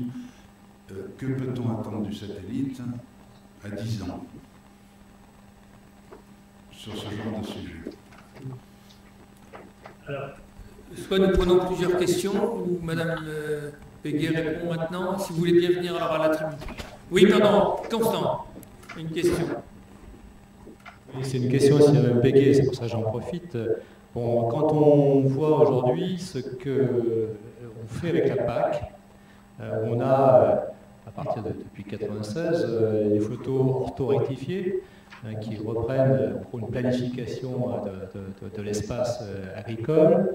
Donc c'est aujourd'hui, est-ce qu'on peut avec, les, les, satellites avoir ce calcul surface, c'est une question, hein, par rapport à ce qu'on fait par avion. La deuxième, elle est par rapport euh, aux surfaces d'intérêt écologique, hein, le nombre d'arbres, la longueur de haies, enfin, etc. Euh, vous connaissez ça. Est-ce qu'on peut transposer les mesures par satellite que ce qu'on fait, avec euh, les photos, euh, là aussi, orthorectifiées, IGN notamment? Merci. Madame? Oui, oui c'est Alors, merci pour vos questions. Concernant les maladies, euh, je rappelle que le satellite va être en fait une image, va donner des, informations sur la vigueur de la culture. Donc sur la quantité de biomasse produite, la quantité de feuilles, en fait, plus exactement, et la verdeur de ces feuilles. Donc si on a une maladie qui va provoquer un ralentissement de la croissance des plantes, ou un jaunissement des feuilles, une perte de feuilles, on va l'observer sur les images satellites. Alors, ensuite, tout dépend à quelle, euh, à quelle, à quelle échelle cela va se produire, si ça se produit sur euh, un arbre dans un verger ou sur quelques dizaines de mètres carrés sur, sur, sur une, dans une parcelle. Donc là, il va falloir regarder un petit peu, enfin, comme je le disais tout à l'heure, euh, si on veut suivre donc, le développement de la végétation et de son état au cours du temps, on a des, maintenant des, des pixels de 10 mètres par 10 mètres. Donc ça risque peut-être d'être un petit peu juste pour observer les foyers de maladie mais si, euh, la, maladie est quand même pas mal répandue, on devrait arriver à la cartographie. Concernant euh, la vigne, donc je ne sais pas si ça attaque 10% ou 20% de la production de, de, de. Le problème de la vigne, c'est qu'aujourd'hui, on procède par examen terrestre, c'est-à-dire on envoie des gens qui crapahutent dans les champs, qui notent des zones européennes et qui estiment euh, l'évolution de la maladie. En fait, vue d'en haut, ça équivaut à une diminution du nombre, de la, du nombre des souches actives par unité de surface. C'est-à-dire les souches crèvent, donc ça fait des vides de de là. C'est ce mitage-là, en fait, qu'il faudrait pouvoir opérer. Alors pour la ligne, il faut avoir une résolution très fine, qui est plutôt de l'ordre de 30 ou 50 cm. A des satellites qui le permettent aujourd'hui. 10 mètres, à mon avis, on mélange l'alterrin et le grand. Donc, euh, suivant si c'est déshervé ou pas, on va avoir du, mal à, différencier l'état de la vigne de l'état de, de. Donc là, il faut quand même arriver à pouvoir cartographier juste la vigne. Et je pense que s'il y a des pieds manquants ou s'il y a des pieds qui ne se développent pas, on devrait le voir sur les images satellites actuelles. Si je puis me permettre, euh, je, sais bien qu'aujourd'hui, ça revêt quelques difficultés. Cela dit, euh, à de 10 ans, vous êtes mieux même que nous de saisir l'évolution rapide des techniques. Est-ce que vous pensez que dans 10 ans, dans 20 ans peut-être, 20 ans je pense qu'on y arrivera, mais dans 10 ans on peut espérer quelque chose? Alors aujourd'hui on y arrive, mais comme vous le disiez, c'est donc à l'échelle locale. C'est-à-dire on peut le faire sur de petites surfaces parce qu'on n'a pas d'outil qui le fait de façon automatique sur de grandes surfaces, on est compte tenu de la diversité des, pratiques culturelles. Et c'est là où le bas actuellement. Donc, euh, oui, moi je crois qu'on est en train de regarder tout ce qui est un petit peu intelligence artificielle, ça va être aussi une voie d'amélioration du traitement de, ces données pour essayer d'avoir des produits qui répondent peu plus à, la demande. Voilà, donc, euh, donc, on sait le faire sur de petites surfaces, mais après, c'est par exemple, on le faire sur l'ensemble du vignoble en France, là, on a effectivement, on n'est pas capable aujourd'hui. Euh, et concernant, c'était. Par rapport à la PAC. Alors, par rapport à la oui, alors par rapport à la PAC, donc, euh, bon, moi je n'ai pas une grande expérience avec la PAC parce que je travaille plutôt dans les pays, euh, dans les pays du Sud, mais aujourd'hui, donc avec ces images à 30 ou 50 cm de résolution, ben là on est capable de voir effectivement les, euh, les haies, euh, on peut arriver à voir aussi les limites de, de, de culture sur une, sur une parcelle, différents niveaux, etc. Également, le problème c'est l'automatisation de ces techniques d'extraction d'informations sur, sur de grandes surfaces. Donc je pense qu'aujourd'hui, ça se fait encore beaucoup euh, par photo interprétation. Mais honnêtement, entre, euh, je pense qu'aujourd'hui, les images satellites sont à peu près du même ordre de, de, de, une résolution proche de celle des, des photos, des images des photos aériennes. Oui, madame. Si je peux me permettre juste un complément. Oui, bonjour. Si je peux me permettre juste un complément d'information par rapport à la question sur la PAC, euh, je souhaiterais souligner le fait que déjà dans la PAC, aujourd'hui au niveau européen, ce sont des images satellites qui sont utilisées, des images très haute résolution spatiale dont Agnès a parlé. En l'occurrence, euh, un satellite français qui s'appelle Pléiade et un satellite américain qui s'appelle WorldView qui sont effectivement à des résolutions de 30 et 50 cm.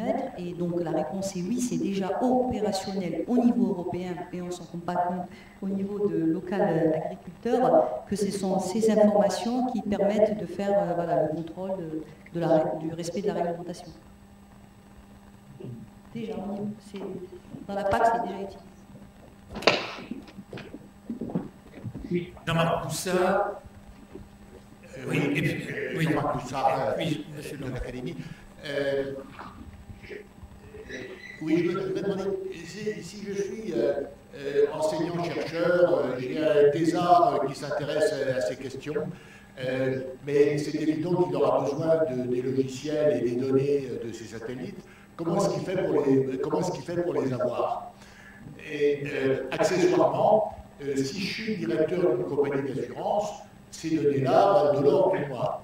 Comment je fais pour les avoir On a quelqu'un qui est bien placé pour vous répondre, qui est Nicolas. Le- Peut-être tu peux venir ici Vous pouvez venir là Tu peux venir là Donc, qui est euh, responsable du pôle TIA, du pôle de données. Donc, comme ça a été, euh, bonjour. Euh, comme ça, donc je suis responsable du pôle thématique surface continentale TA. Donc, comme ça a été dit, depuis, euh, depuis une dizaine d'années, donc il y a énormément de données, énormément de satellites qui sont lancés. Et donc, depuis, euh, on va dire, une dizaine d'années, il y a des initiatives nationales, en particulier le pôle TA. Et depuis, donc, on- voilà.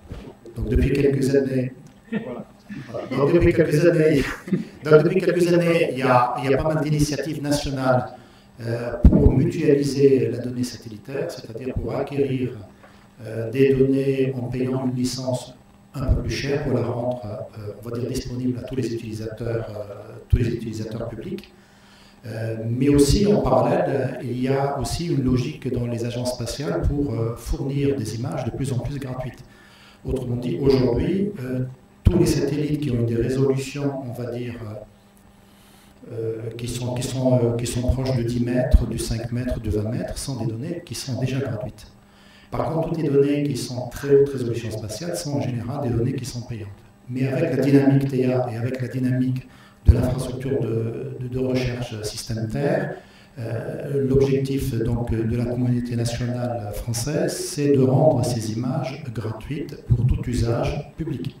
Autrement dit, aujourd'hui, euh, un chercheur, une collectivité, un ministère qui a besoin des images à très haute résolution spatiale, c'est-à-dire des images qui ont des résolutions, on va dire, de quelques mètres, voire quelques dizaines de centimètres, a la possibilité d'avoir ces images sans aucun problème et gratuitement. Alors c'est gratuit parce que tout simplement, en amont, il y a les organismes de recherche et il y a des fonds des ministères qui financent évidemment cette donnée-là. Voilà. Pour les logiciels, pardon, je m'excuse, pour les logiciels, c'est exactement la même chose. Là encore, il y a aussi une logique de mutualiser des plateformes, de mutualiser des formations, de mutualiser des logiciels pour que euh, les gens puissent, puissent utiliser donc l'image, qu'ils soit, qu soient spécialistes ou pas. Euh, voilà, même quand on ne dispose pas des budgets, des budgets importants. Parce qu'on sait bien que les images coûtent cher et que les logiciels coûtent évidemment très cher aussi. Et ceci dans un, dans un cadre national ou européen? Dans un cadre national. La très haute résolution spatiale, pour l'instant, c'est dans un cadre national.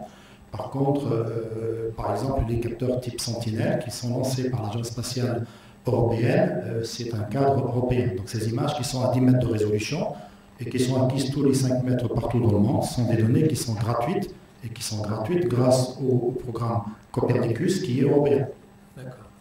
Donc on va dire la haute résolution aujourd'hui, elle est gratuite grâce à l'effort de la plupart des agences spatiales, en particulier l'Agence spatiale européenne. Par contre, la très haute résolution spatiale, ça reste un produit en général payant, mais grâce à un effort de la communauté nationale, donc française, ces données, depuis quelques années, sont gratuites.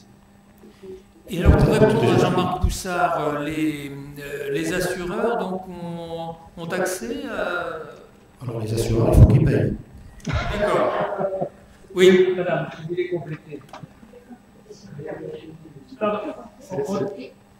Pardon, monsieur Jean-Yves, on va continuer sur le sujet. Oui, alors je ne me suis pas présentée, donc je suis Madame Cherchali du CNES, euh, la direction de l'innovation, des applications de la, et de la science.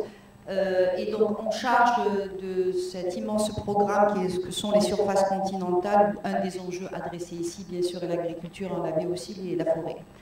Euh, pour compléter un peu le panorama qui vient d'être donné par Nicolas Bagdadi et par rapport à la question de l'assureur, en fait, euh, l'assureur, la donnée image en elle-même ne va pas l'intéresser. Vous êtes d'accord avec ça? Donc on ouvre effectivement, euh, on démocratise l'usage de la donnée spatiale avec ce que vient de dire Nicolas, mais il y a aussi un effort énorme dans le domaine de la recherche et de la science. J'ai bien aimé l'intervention introductive tout à l'heure de votre confrère sur l'importance des connaissances et de l'amélioration de la science. Il y a un effort euh, aussi de, structuration de la communauté de recherche et de support pour, en lien avec des acteurs justement de politique publique ou d'autres acteurs, à chambre d'agriculture, à l'échelle régionale, pour élaborer euh, des produits issus de l'imagerie spatiale mais qui va disparaître en termes d'affichage pour l'utilisateur. On a parlé tout à l'heure d'évapotranspiration, euh, on parle de produits euh, de biomasse, ce genre de choses. Et donc il y a un effort pour aller jusqu'à un produit qui va parler à un utilisateur que ce soit dans le milieu de la recherche ou dans le milieu des acteurs de politique publique. Et en fait, le modèle qui est poussé aujourd'hui, si je prends le domaine de l'eau, euh, où on est en train aussi de structurer cette filière hydrologie, c'est de dire que, en fait, quel que soit l'acteur en aval de ce développement de la démocratisation de la donnée spatiale, de l'effort de recherche qui conduit à des produits à valeur ajoutée, il est libre de se l'approprier, parce que ça sera, diffusé via les, les, pôles de données et de services, en l'occurrence ici TEIA, et à partir de ce produit, effectivement, il se construit son service. Et, c'est tout l'enjeu aussi d'une filière aussi économique du, secteur aval.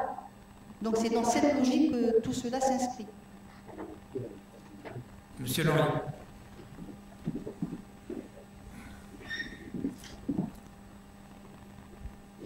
Oui, euh, on a eu trois très intéressantes présentations. D'une part, d'abord, je voudrais remercier Madame Béguet et M. Laguarde d'avoir indiqué qu'il y avait des erreurs, il y avait nécessairement une calibration, une validation des données et que les cartes ou les, images cartographiques qui sortaient de l'interprétation automatisée ou semi-automatique de l'imagerie spatiale n'étaient pas exactes à 100%. Je crois que malheureusement, c'est un réflexe des télédétecteurs qu'ils ont acquis après un certain temps, mais que dans les années 80 et 90 en particulier, il y a eu des ravages faits dans les pays en développement avec des gens trop contents de rester en bureau devant des écrans et maniant des données électroniques et se refusant à ce travail très pénible, très coûteux, d'aller voir sur le terrain ce qui se passait et à quoi correspondaient les classes qu'il présentait si, euh, de façon si fière à tous les visiteurs, impressionnés évidemment par ce flot d'images informatiques et en couleur. Alors, comme je suis un peu forestier sur les bords, vous ne serez pas étonné que je me concentre sur la présentation de M. Jérôme Chavet, qui a donné tout son, son sel et son concentration sur les questions forestières. Et en particulier sur un projet, sur un thème que j'ai bien connu dans, quand j'étais plus jeune, de la déforestation tropicale. En fait, euh, pour la déforestation tropicale, je me suis battu très longtemps au niveau international pour faire reconnaître que la déforestation, ce n'était pas tant un problème d'exploitation forestière, qui était dans la plupart des cas une exploitation sélective, et que si elle diminuait un petit peu le stock, elle augmentait les flux. Et que donc le bilan, sauf évidemment dans les fameuses forêts à dipterocarpacées du sud-est asiatique, où là, l'exploitation forestière prenait beaucoup du stock sur pied et elle était plus sélective. Et je me suis battu longtemps pour faire valoir que la déforestation, ce n'était pas la faute à l'exploitation forestière ou à la mise en valeur forestière, mais c'était toutes les formes d'agriculture et d'élevage. Car évidemment, à cette époque, il fallait trouver des biens, comme toujours, comme maintenant aussi, et le paysan pauvre faisant l'agriculture itinérante dans les forêts de Madagascar et défrichant lui tout seul en, trois ans un hectare ou deux hectares et ensuite allant ailleurs, c'est pas un vilain présentable dans les chaumières, devant la télévision, il fallait trouver des vilains.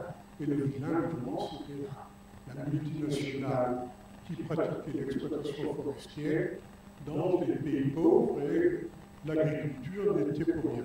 Heureusement pour moi, malheureusement pour les forêts tropicales, est arrivée la période du soja et de l'huile de palme, et on s'est enfin, on s'est enfin aperçu que l'agriculture devait pour quelque chose.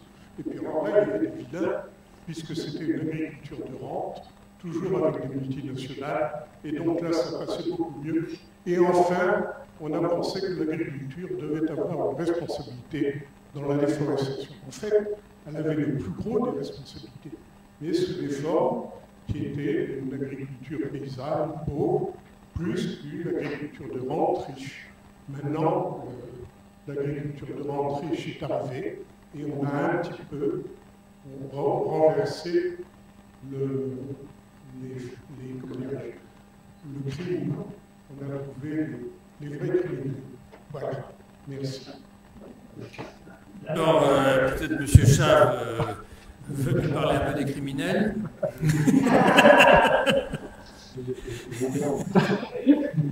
ah bah vous êtes courageux. Je, vous remercie pour votre intervention. L'un des enjeux que vous décrivez là, c'est des, enjeux de conflit d'usage euh, qui ont été décrits par des historiens de l'environnement euh, très bien sur beaucoup de, de, de systèmes. D'une certaine façon, il y a toujours besoin d'un vilain, effectivement, quand on parle d'une chose qui est éthiquement pas acceptable, qui est la dégradation d'un écosystème qu'on a considéré comme un écosystème d'une valeur patrimoniale, on appelle ça, ou esthétique, ou autre. Et là, en l'occurrence, c'est la forêt. Pourquoi la forêt a une valeur patrimoniale, esthétique en Europe? C'est une question qui est très intéressante en soi. Pourquoi les, les structures de gouvernance en Europe se sont construites sur la forêt en partie, sur une centralisation autour de l'objet de la forêt, c'est aussi très important parce que là est le pouvoir. Et l'enjeu du pouvoir et, de, de, cette gestion de, de, du, patrimoine, c'est quelque chose qui est très très fortement dans la culture. Donc c'est vrai qu'il y a toujours besoin d'un vilain, on a besoin de, trouver la faute quelque part. En l'occurrence, j'espère ne pas avoir été euh, caricatural dans cette présentation. Il y a des facteurs économiques qui sont en jeu ces facteurs économiques sont quantifiés, euh, la faute, elle est, elle est, euh, c'est moins, je pense, important aujourd'hui de poser ces questions en termes de faute ou pas de faute. La question est plutôt en termes de est-ce que ces facteurs sont significatifs ou pas, et est-ce qu'ils sont mesurables surtout? Le vrai enjeu derrière, il est moins pour les scientifiques que pour les décideurs, pour les politiques, de tirer les conséquences de ces situations-là et d'utiliser les objets de l'observation, alors qu'ils soient terrain et satellitaires. C'est vrai que je n'ai peut-être pas assez insisté, et merci d'avoir signalé sur le fait que faire du terrain, c'est très important, c'est la partie la plus chère en fait, et la plus coûteuse, c'est ma, partie en fait dans, dans, dans ce travail-là, plutôt que la partie satellitaire. Euh, est très coûteuse en personne et en effort, et c'est une, partie qui est très importante. Une fois qu'on a fait tout ce travail-là, on reste à donner des outils aux décideurs et on sort un petit peu de cette partie-là. Peut-être que vous, avez un, avis différent sur, ce point-là, mais euh, je pense qu'il ne faut pas mélanger les, les rôles. Notre rôle de scientifique, c'est d'essayer de donner des outils avec les erreurs associées pour les décideurs. Merci. Autre question? Oui, oui, allez Juste une toute petite, euh, un tout petit point rapide. Euh, monsieur, monsieur Charles, Charles excusez-moi, euh, a parlé des forêts naturelles en France. Il euh, faut faire attention. Il y a, pas, il y a 30 000 hectares de forêts naturelles en France sur les 16 millions d'hectares que nous avons. Toute la majorité des forêts françaises sont des forêts semi-naturelles suivant le jargon international, c'est-à-dire que ce sont des forêts aménagées par l'homme, qui ont été utilisées par l'homme depuis très longtemps, et ce ne sont pas naturelles au sens de, de forêt vierge, de forêt primaire. Et dans la terminologie, il y a eu beaucoup d'ambiguïté sur ce euh, épithète de naturel. De Guyane. C'est la Guyane. La question la, la Guyane. Oui, mais euh, la Guyane n'est pas dans l'Hexagone, mais en France. On est d'accord Oui, c'est vrai. Guillaume Brouillet, de cette académie. Non, effectivement, c'est très, très intéressant d'avoir des, données avec des résolutions spatiales de, meilleures, etc. Tout, avec des progrès techniques, très bien. Quand on veut suivre des évolutions dans le temps, on a besoin d'une stabilité des classements. Et on a été euh, dans l'accro, euh, en particulier, très embêté quand on a voulu suivre euh, l'expansion de l'urbanisation, les changements d'occupation des sols, par l'instabilité des classements qui étaient proposés dans les, données. Est-ce qu'il y a une réflexion sur la, stabilisation de, de, des classements? Parce qu'on a été obligé de revenir aux données de base de l'image et de refaire un traitement algorithmique pour reclasser les données. Et ça, ça, ça limite beaucoup l'utilisation euh, en dehors des secteurs euh, proprement recherche. Qui, qui, veut répondre? Oui. Oui, Mme Béguet. Par instabilité des classements, vous parlez des algorithmes qui sont utilisés ou de la nomenclature? Ou des deux? Les deux. Des deux. Alors, bon, effectivement, on fait des progrès euh, également, on essaie de, nouveaux outils, des nouveaux algos pour classer les images et euh, heureusement, on a la possibilité de revenir sur des archives et de reprendre le travail, de, travailler de façon rétro, rétroactive. Ça, c'est toujours possible et c'est même souhaitable parce que bien sûr, on ne va pas comparer deux. On ne va pas faire une analyse euh, temporelle avec des produits issus de différents, créés par différentes personnes, avec différents algos. Là, je pense que c'est une source d'erreur non négligeable. En termes de nomenclature, il y a des nomenclatures qui sont proposées au niveau international, il y a des nomenclatures qui sont proposées aussi dans le cadre de, de Corinne, plusieurs dizaines de, classes d'occupation du sol, sont des nomenclatures hiérarchiques. Donc en fonction des images qu'on a, des données qu'on a, on peut aller plus ou moins en détail dans, la hiérarchie des, des classes. Donc euh, il y a des passerelles et il y a des normes, on va dire, internationales et, et, européennes. Donc dans la mesure du possible, il faut essayer de, de s'y tenir. Maintenant, ça n'empêchera pas un utilisateur, pour un produit spécifique, un besoin spécifique, de créer sa propre nomenclature et de travailler comme il entend ces, ces images. Merci beaucoup de, de, cet éclairage. Oui, je suis bien d'accord. Juste une question de Béotien. La... Quelle est la résolution de Google Earth? Parce qu'on arrive très bien à voir le mitage des, des parcelles de vignes. Alors, sur les images Google Earth, il y a des tas de satellites différents, mais je pense que les, les satellites qui ont la, les images qui ont la meilleure résolution, ça doit être, euh, je ne sais pas si c'est des images WorldView à 30 cm, mais il y a au moins des images à 50 cm. C'est pas sur tout le globe C'est pas sur tout le globe, d'ailleurs vous voyez, ça fait un peu comme des images des timbres postes. Celles-ci sont à peu près à 50 cm de résolution, mais en tout cas l'ensemble du globe est couvert avec des images Landsat. Ça c'est le produit de base qui est à 30 mètres. Qui ne sont pas très traités, donc non utilisables en. Non utilisés quantitativement. On ne peut pas utiliser le signal pour faire des, des, des, extraire des variables quantitatives de ces images. Par contre, on peut faire de la photo-interprétation. En France, ça doit être du spot, à 2,50 je pense, dans Google. Mais en France aujourd'hui, excusez-moi, en France aujourd'hui, non, mais venez, à la le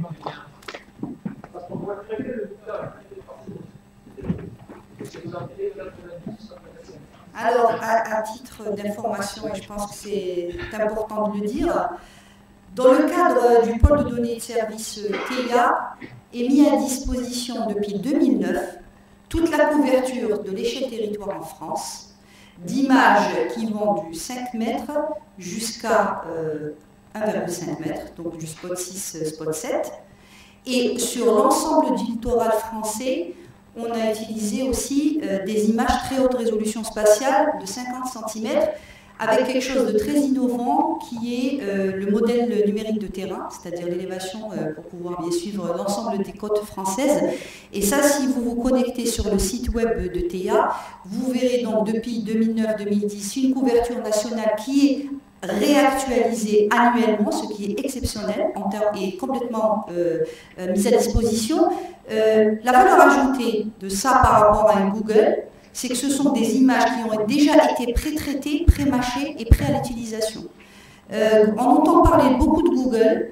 quand on a affaire à une exigence de qualité en termes d'indicateurs mesurables, tel que l'a exprimé Jérôme Chat tout à l'heure, ou l'ensemble des intervenants, quand on creuse, vous voyez des couvertures globales forestières sur Google, on voit des couvertures agricoles globales, mais quand on approche nos experts, qu'ils soient scientifiques ou des gestionnaires de forêt, on va tout de suite pointer euh, des erreurs euh, inhérentes parce qu'il n'y a pas de garantie de produits qualifiés à exigence scientifique de haut niveau. Et en fait, l'enjeu de l'ensemble des travaux de recherche aujourd'hui dans la communauté nationale, c'est de pouvoir travailler en particulier avec ces acteurs du territoire à des échelles régionales, c'est le cadre même de la structuration du pôle TIA, qui permet justement d'élaborer finalement par rapport à la question des classes instables à une époque donnée, d'élaborer finalement en fonction du besoin des produits générés à partir de ces données pré-traitées de qualité, des produits à valeur ajoutée, des classifications d'occupation du sol avec une nomenclature adéquate, qui n'est pas la même pour un besoin d'agriculture, qui ne sera pas la même pour un besoin euh, euh, de forêt, et qui est justement dans un système de boucle, je dirais, de rétroaction euh, agile et, de cercle vertueux entre la science, les acteurs du territoire, les politiques publiques, etc. Voilà, c'est tout l'enjeu aujourd'hui et effectivement, on assiste à un contexte spatial inédit. Je pense que ça, ça a été rappelé, mais je voudrais insister dessus. Le spatial tout seul ne fait pas tout dans les travaux de recherche actuels, l'enjeu important, c'est l'intégration, et on ne cesse de le dire sur les enjeux de l'eau, où on voit des décroissances énormes de données in situ, c'est effectivement l'intégration dans un système d'ensemble de données in situ de données spatiales, l'enjeu des modélisations pour des, prévisions de changement de climat ou d'impact sont aussi des enjeux importants. Donc on a besoin de la mobilisation de tous, et y compris bien entendu de nos institutionnels et de nos organismes de recherche qui se sont mobilisés autour de TIA. Et je le rappelle, il y a 11 organismes de recherche qui ont signé la poursuite de cette aventure qui est en fait la mutualisation de l'ensemble de ces sous-outils et données à disposition de l'ensemble de la communauté. Voilà. Merci beaucoup. Merci. Alors, au fond, puis euh, le vice-président. Oui, c'est un peu la question euh, suite à la remarque euh, que Madame vient de faire. Les relations avec les autres pays, comme la Chine, la Russie ou les États-Unis. Si on prend le 4C, est-ce que c'est plutôt la collaboration et la coopération ou est-ce que c'est la concurrence euh, Il y a un café euh, que j'ai je vais, je vais répondre. En fait, euh, quand on travaille avec la donnée spatiale, en fait, on s'affranchit des frontières, des enjeux politiques ou stratégiques. Et en tant qu'agence nationale spatiale, on est complètement dans la coopération et non dans la concurrence, et surtout quand on adresse le monde de la recherche et de la science. La coopération, c'est ce qui fait progresser les connaissances. Et donc aujourd'hui, justement, on est de plus en plus vers un monde où la donnée est de plus en plus ouverte et accessible et gratuite. C'est ça qui fait aussi qu'elle est accessible et qu'elle est appréhendée par l'ensemble des acteurs. Donc pour répondre clairement aujourd'hui, je ne vais pas vous adresser l'ensemble des panoramas des, coopérations, mais on a des coopérations très fortes en Afrique, en Amérique du Sud. plusieurs missions euh, sont faites avec les États-Unis en coopération, bien entendu, ou avec euh, l'Agence spatiale indienne comme euh, adressée par Jean-Pierre Lavoie. Non, on n'est pas dans la concurrence. Par contre, je pense qu'en France, il faut toujours qu'on ait une longueur d'avance sur l'innovation et la recherche. Parce que c'est ça qui va nous tirer vers le haut et être force de proposition dans ces coopérations internationales. L'enjeu, il est là. Oui, euh, restez là, restez là, madame, parce que c'est aussi. Euh, oui, Jean-Louis Vous êtes à la tribune, j'en profite, et je voulais prolonger la question qui a été posée par Jean-Pierre Decor. Euh, je suis impressionné par le fait que des données de cette qualité-là soient gratuites et que vous ayez en plus du recul. Je formule une demande qu'il aurait pu formuler mieux que moi. Euh, imaginons le cas d'une appellation viticole. La vigne, c'est intéressant parce que la plante, elle est là pour longtemps. Donc ça ne change pas chaque année comme des cultures assolées. Euh, cette vigne qui est plantée depuis 20 euh, ans, Il est donc possible d'accéder à des données gratuites sur la densité des plantations il y a 5, 6 ans, 10 ans, en fonction de l'ancienneté de vos données les plus fines. Qui empêche aujourd'hui une chambre d'agriculture ou un syndicat agricole de dire Moi, je suis très inquiet pour le devenir de mon cognac en Charente, de mon uni blanc qui est mité par les maladies du bois. Et on a l'impression que ça va très vite. Donc aujourd'hui, j'ai juste quelques parcelles suivies par des piétons.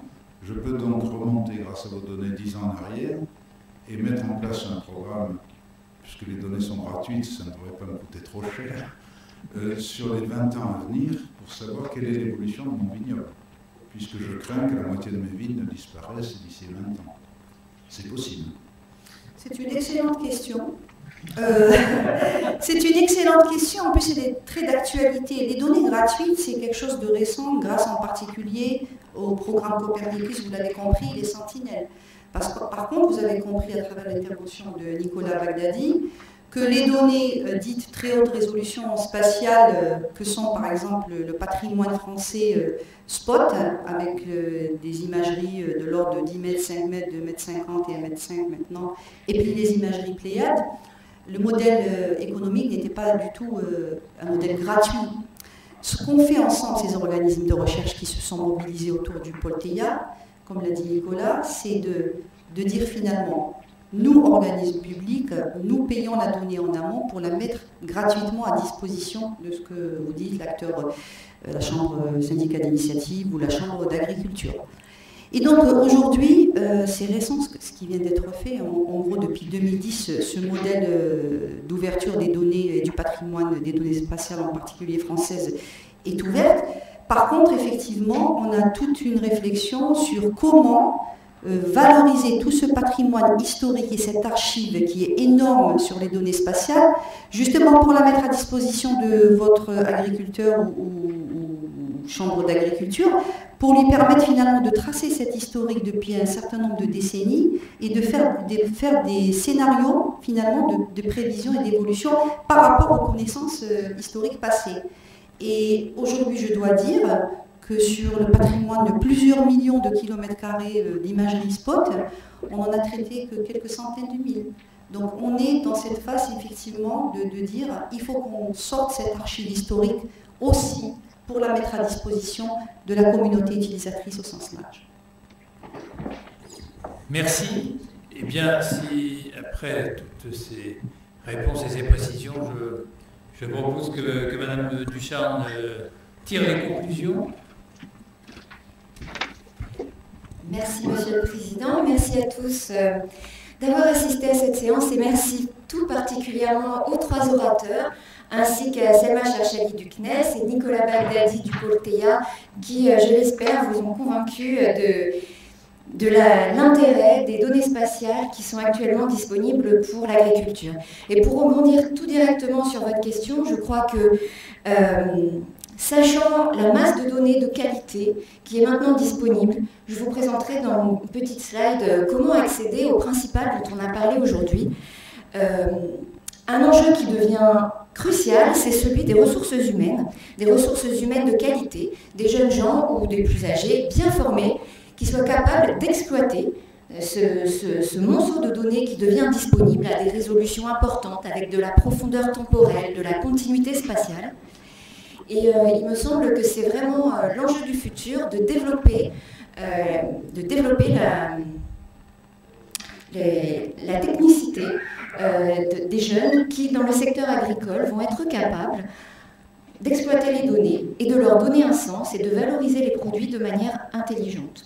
Donc euh, Selma Cherchali vous a parlé du souci euh, au sein du pôle TEIA de faire, de dépasser la simple production de données pour, euh, donner aux utilisateurs des produits, des produits qui ont un sens et qui sont faciles à exploiter.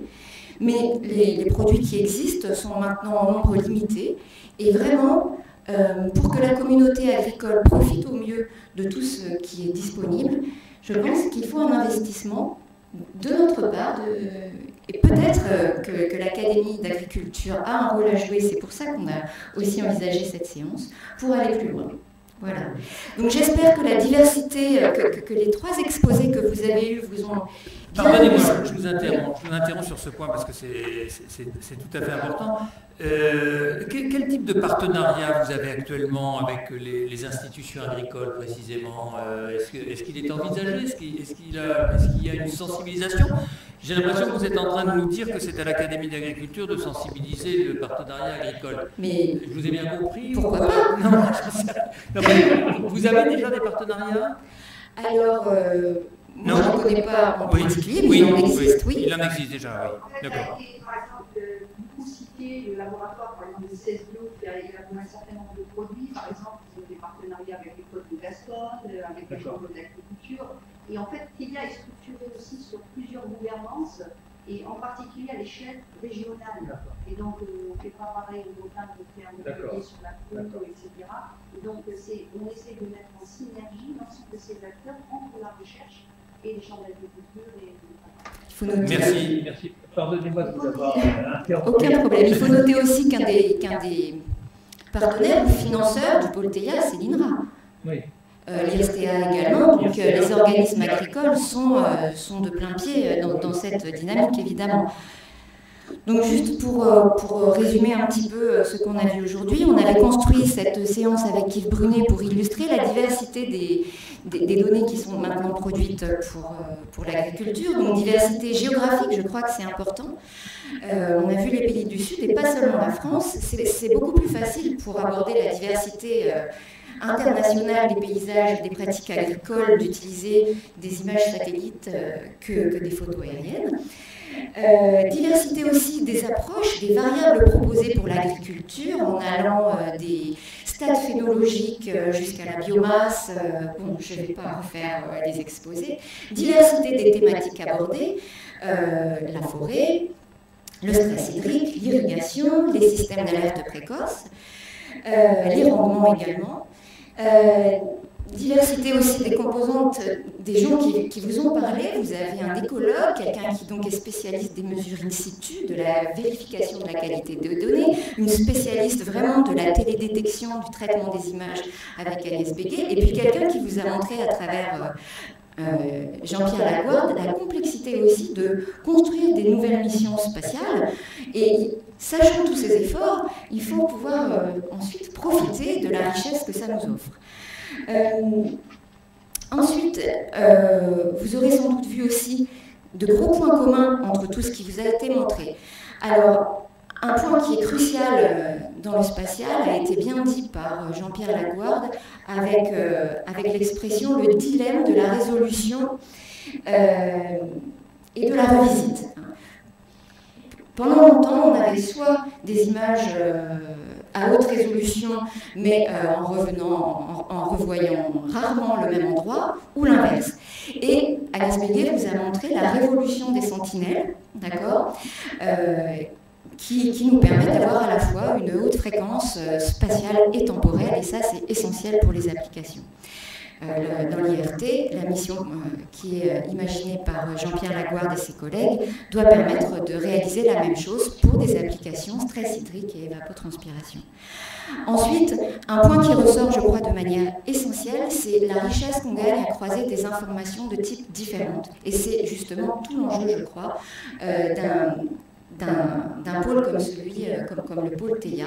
La construction de produits, c'est aussi croiser des informations de types différentes. On en a aussi vu un exemple dans l'exposé d'Agnès Béguet. Pour aller jusqu'au rendement, on a besoin d'images, on a besoin de stress hydrique, quelle que soit la manière de le regarder. On a souvent aussi besoin de modèles. Et là, je rejoins tout à fait Selma Cherchali quand elle nous a dit que le spatial tout seul ne fait pas tout. Donc, on a besoin de compétences autres. Euh, et puis, ce qui est, crucial et qu'on voulait vous montrer, c'est la visée opérationnelle euh, de tous les, développements, euh, de, tout l'historique de travail dans le spatial depuis maintenant 30 ans. Donc, avec un effort réel de diffusion des produits, avec la qualification, des, des précisions, des incertitudes. Et alors,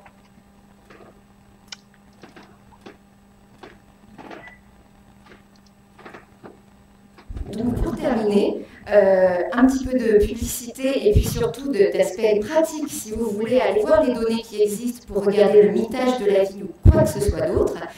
Euh, C'est le site web par lequel vous pouvez accéder aux données Sentinelle, Sentinelle 1 pour le radar, Sentinelle 2 pour l'optique, avec des résolutions décalométriques, une revisite inférieure à 10 jours. Vous avez aussi un autre site de l'ESA euh, euh, qui met à disposition euh, des produits sur différentes thématiques qui sont listées tout à droite, qui incluent les feux de forêt, des cartes d'occupation des sols, des, produits d'humidité des sols. donc certains de ces produits sont encore plus ou moins bons, mais ça montre la dynamique internationale dans ce sujet. Et au niveau national, donc je vous incite vraiment à aller voir le, site euh, du pôle euh, TEIA, euh, qui est hébergé donc, à l'adresse tout en bas. Et si vous avez besoin d'informations plus pratiques, donc Nicolas Bagdadi est là pour répondre à, des questions plus concrètes au terme de cette séance. Merci encore à tous.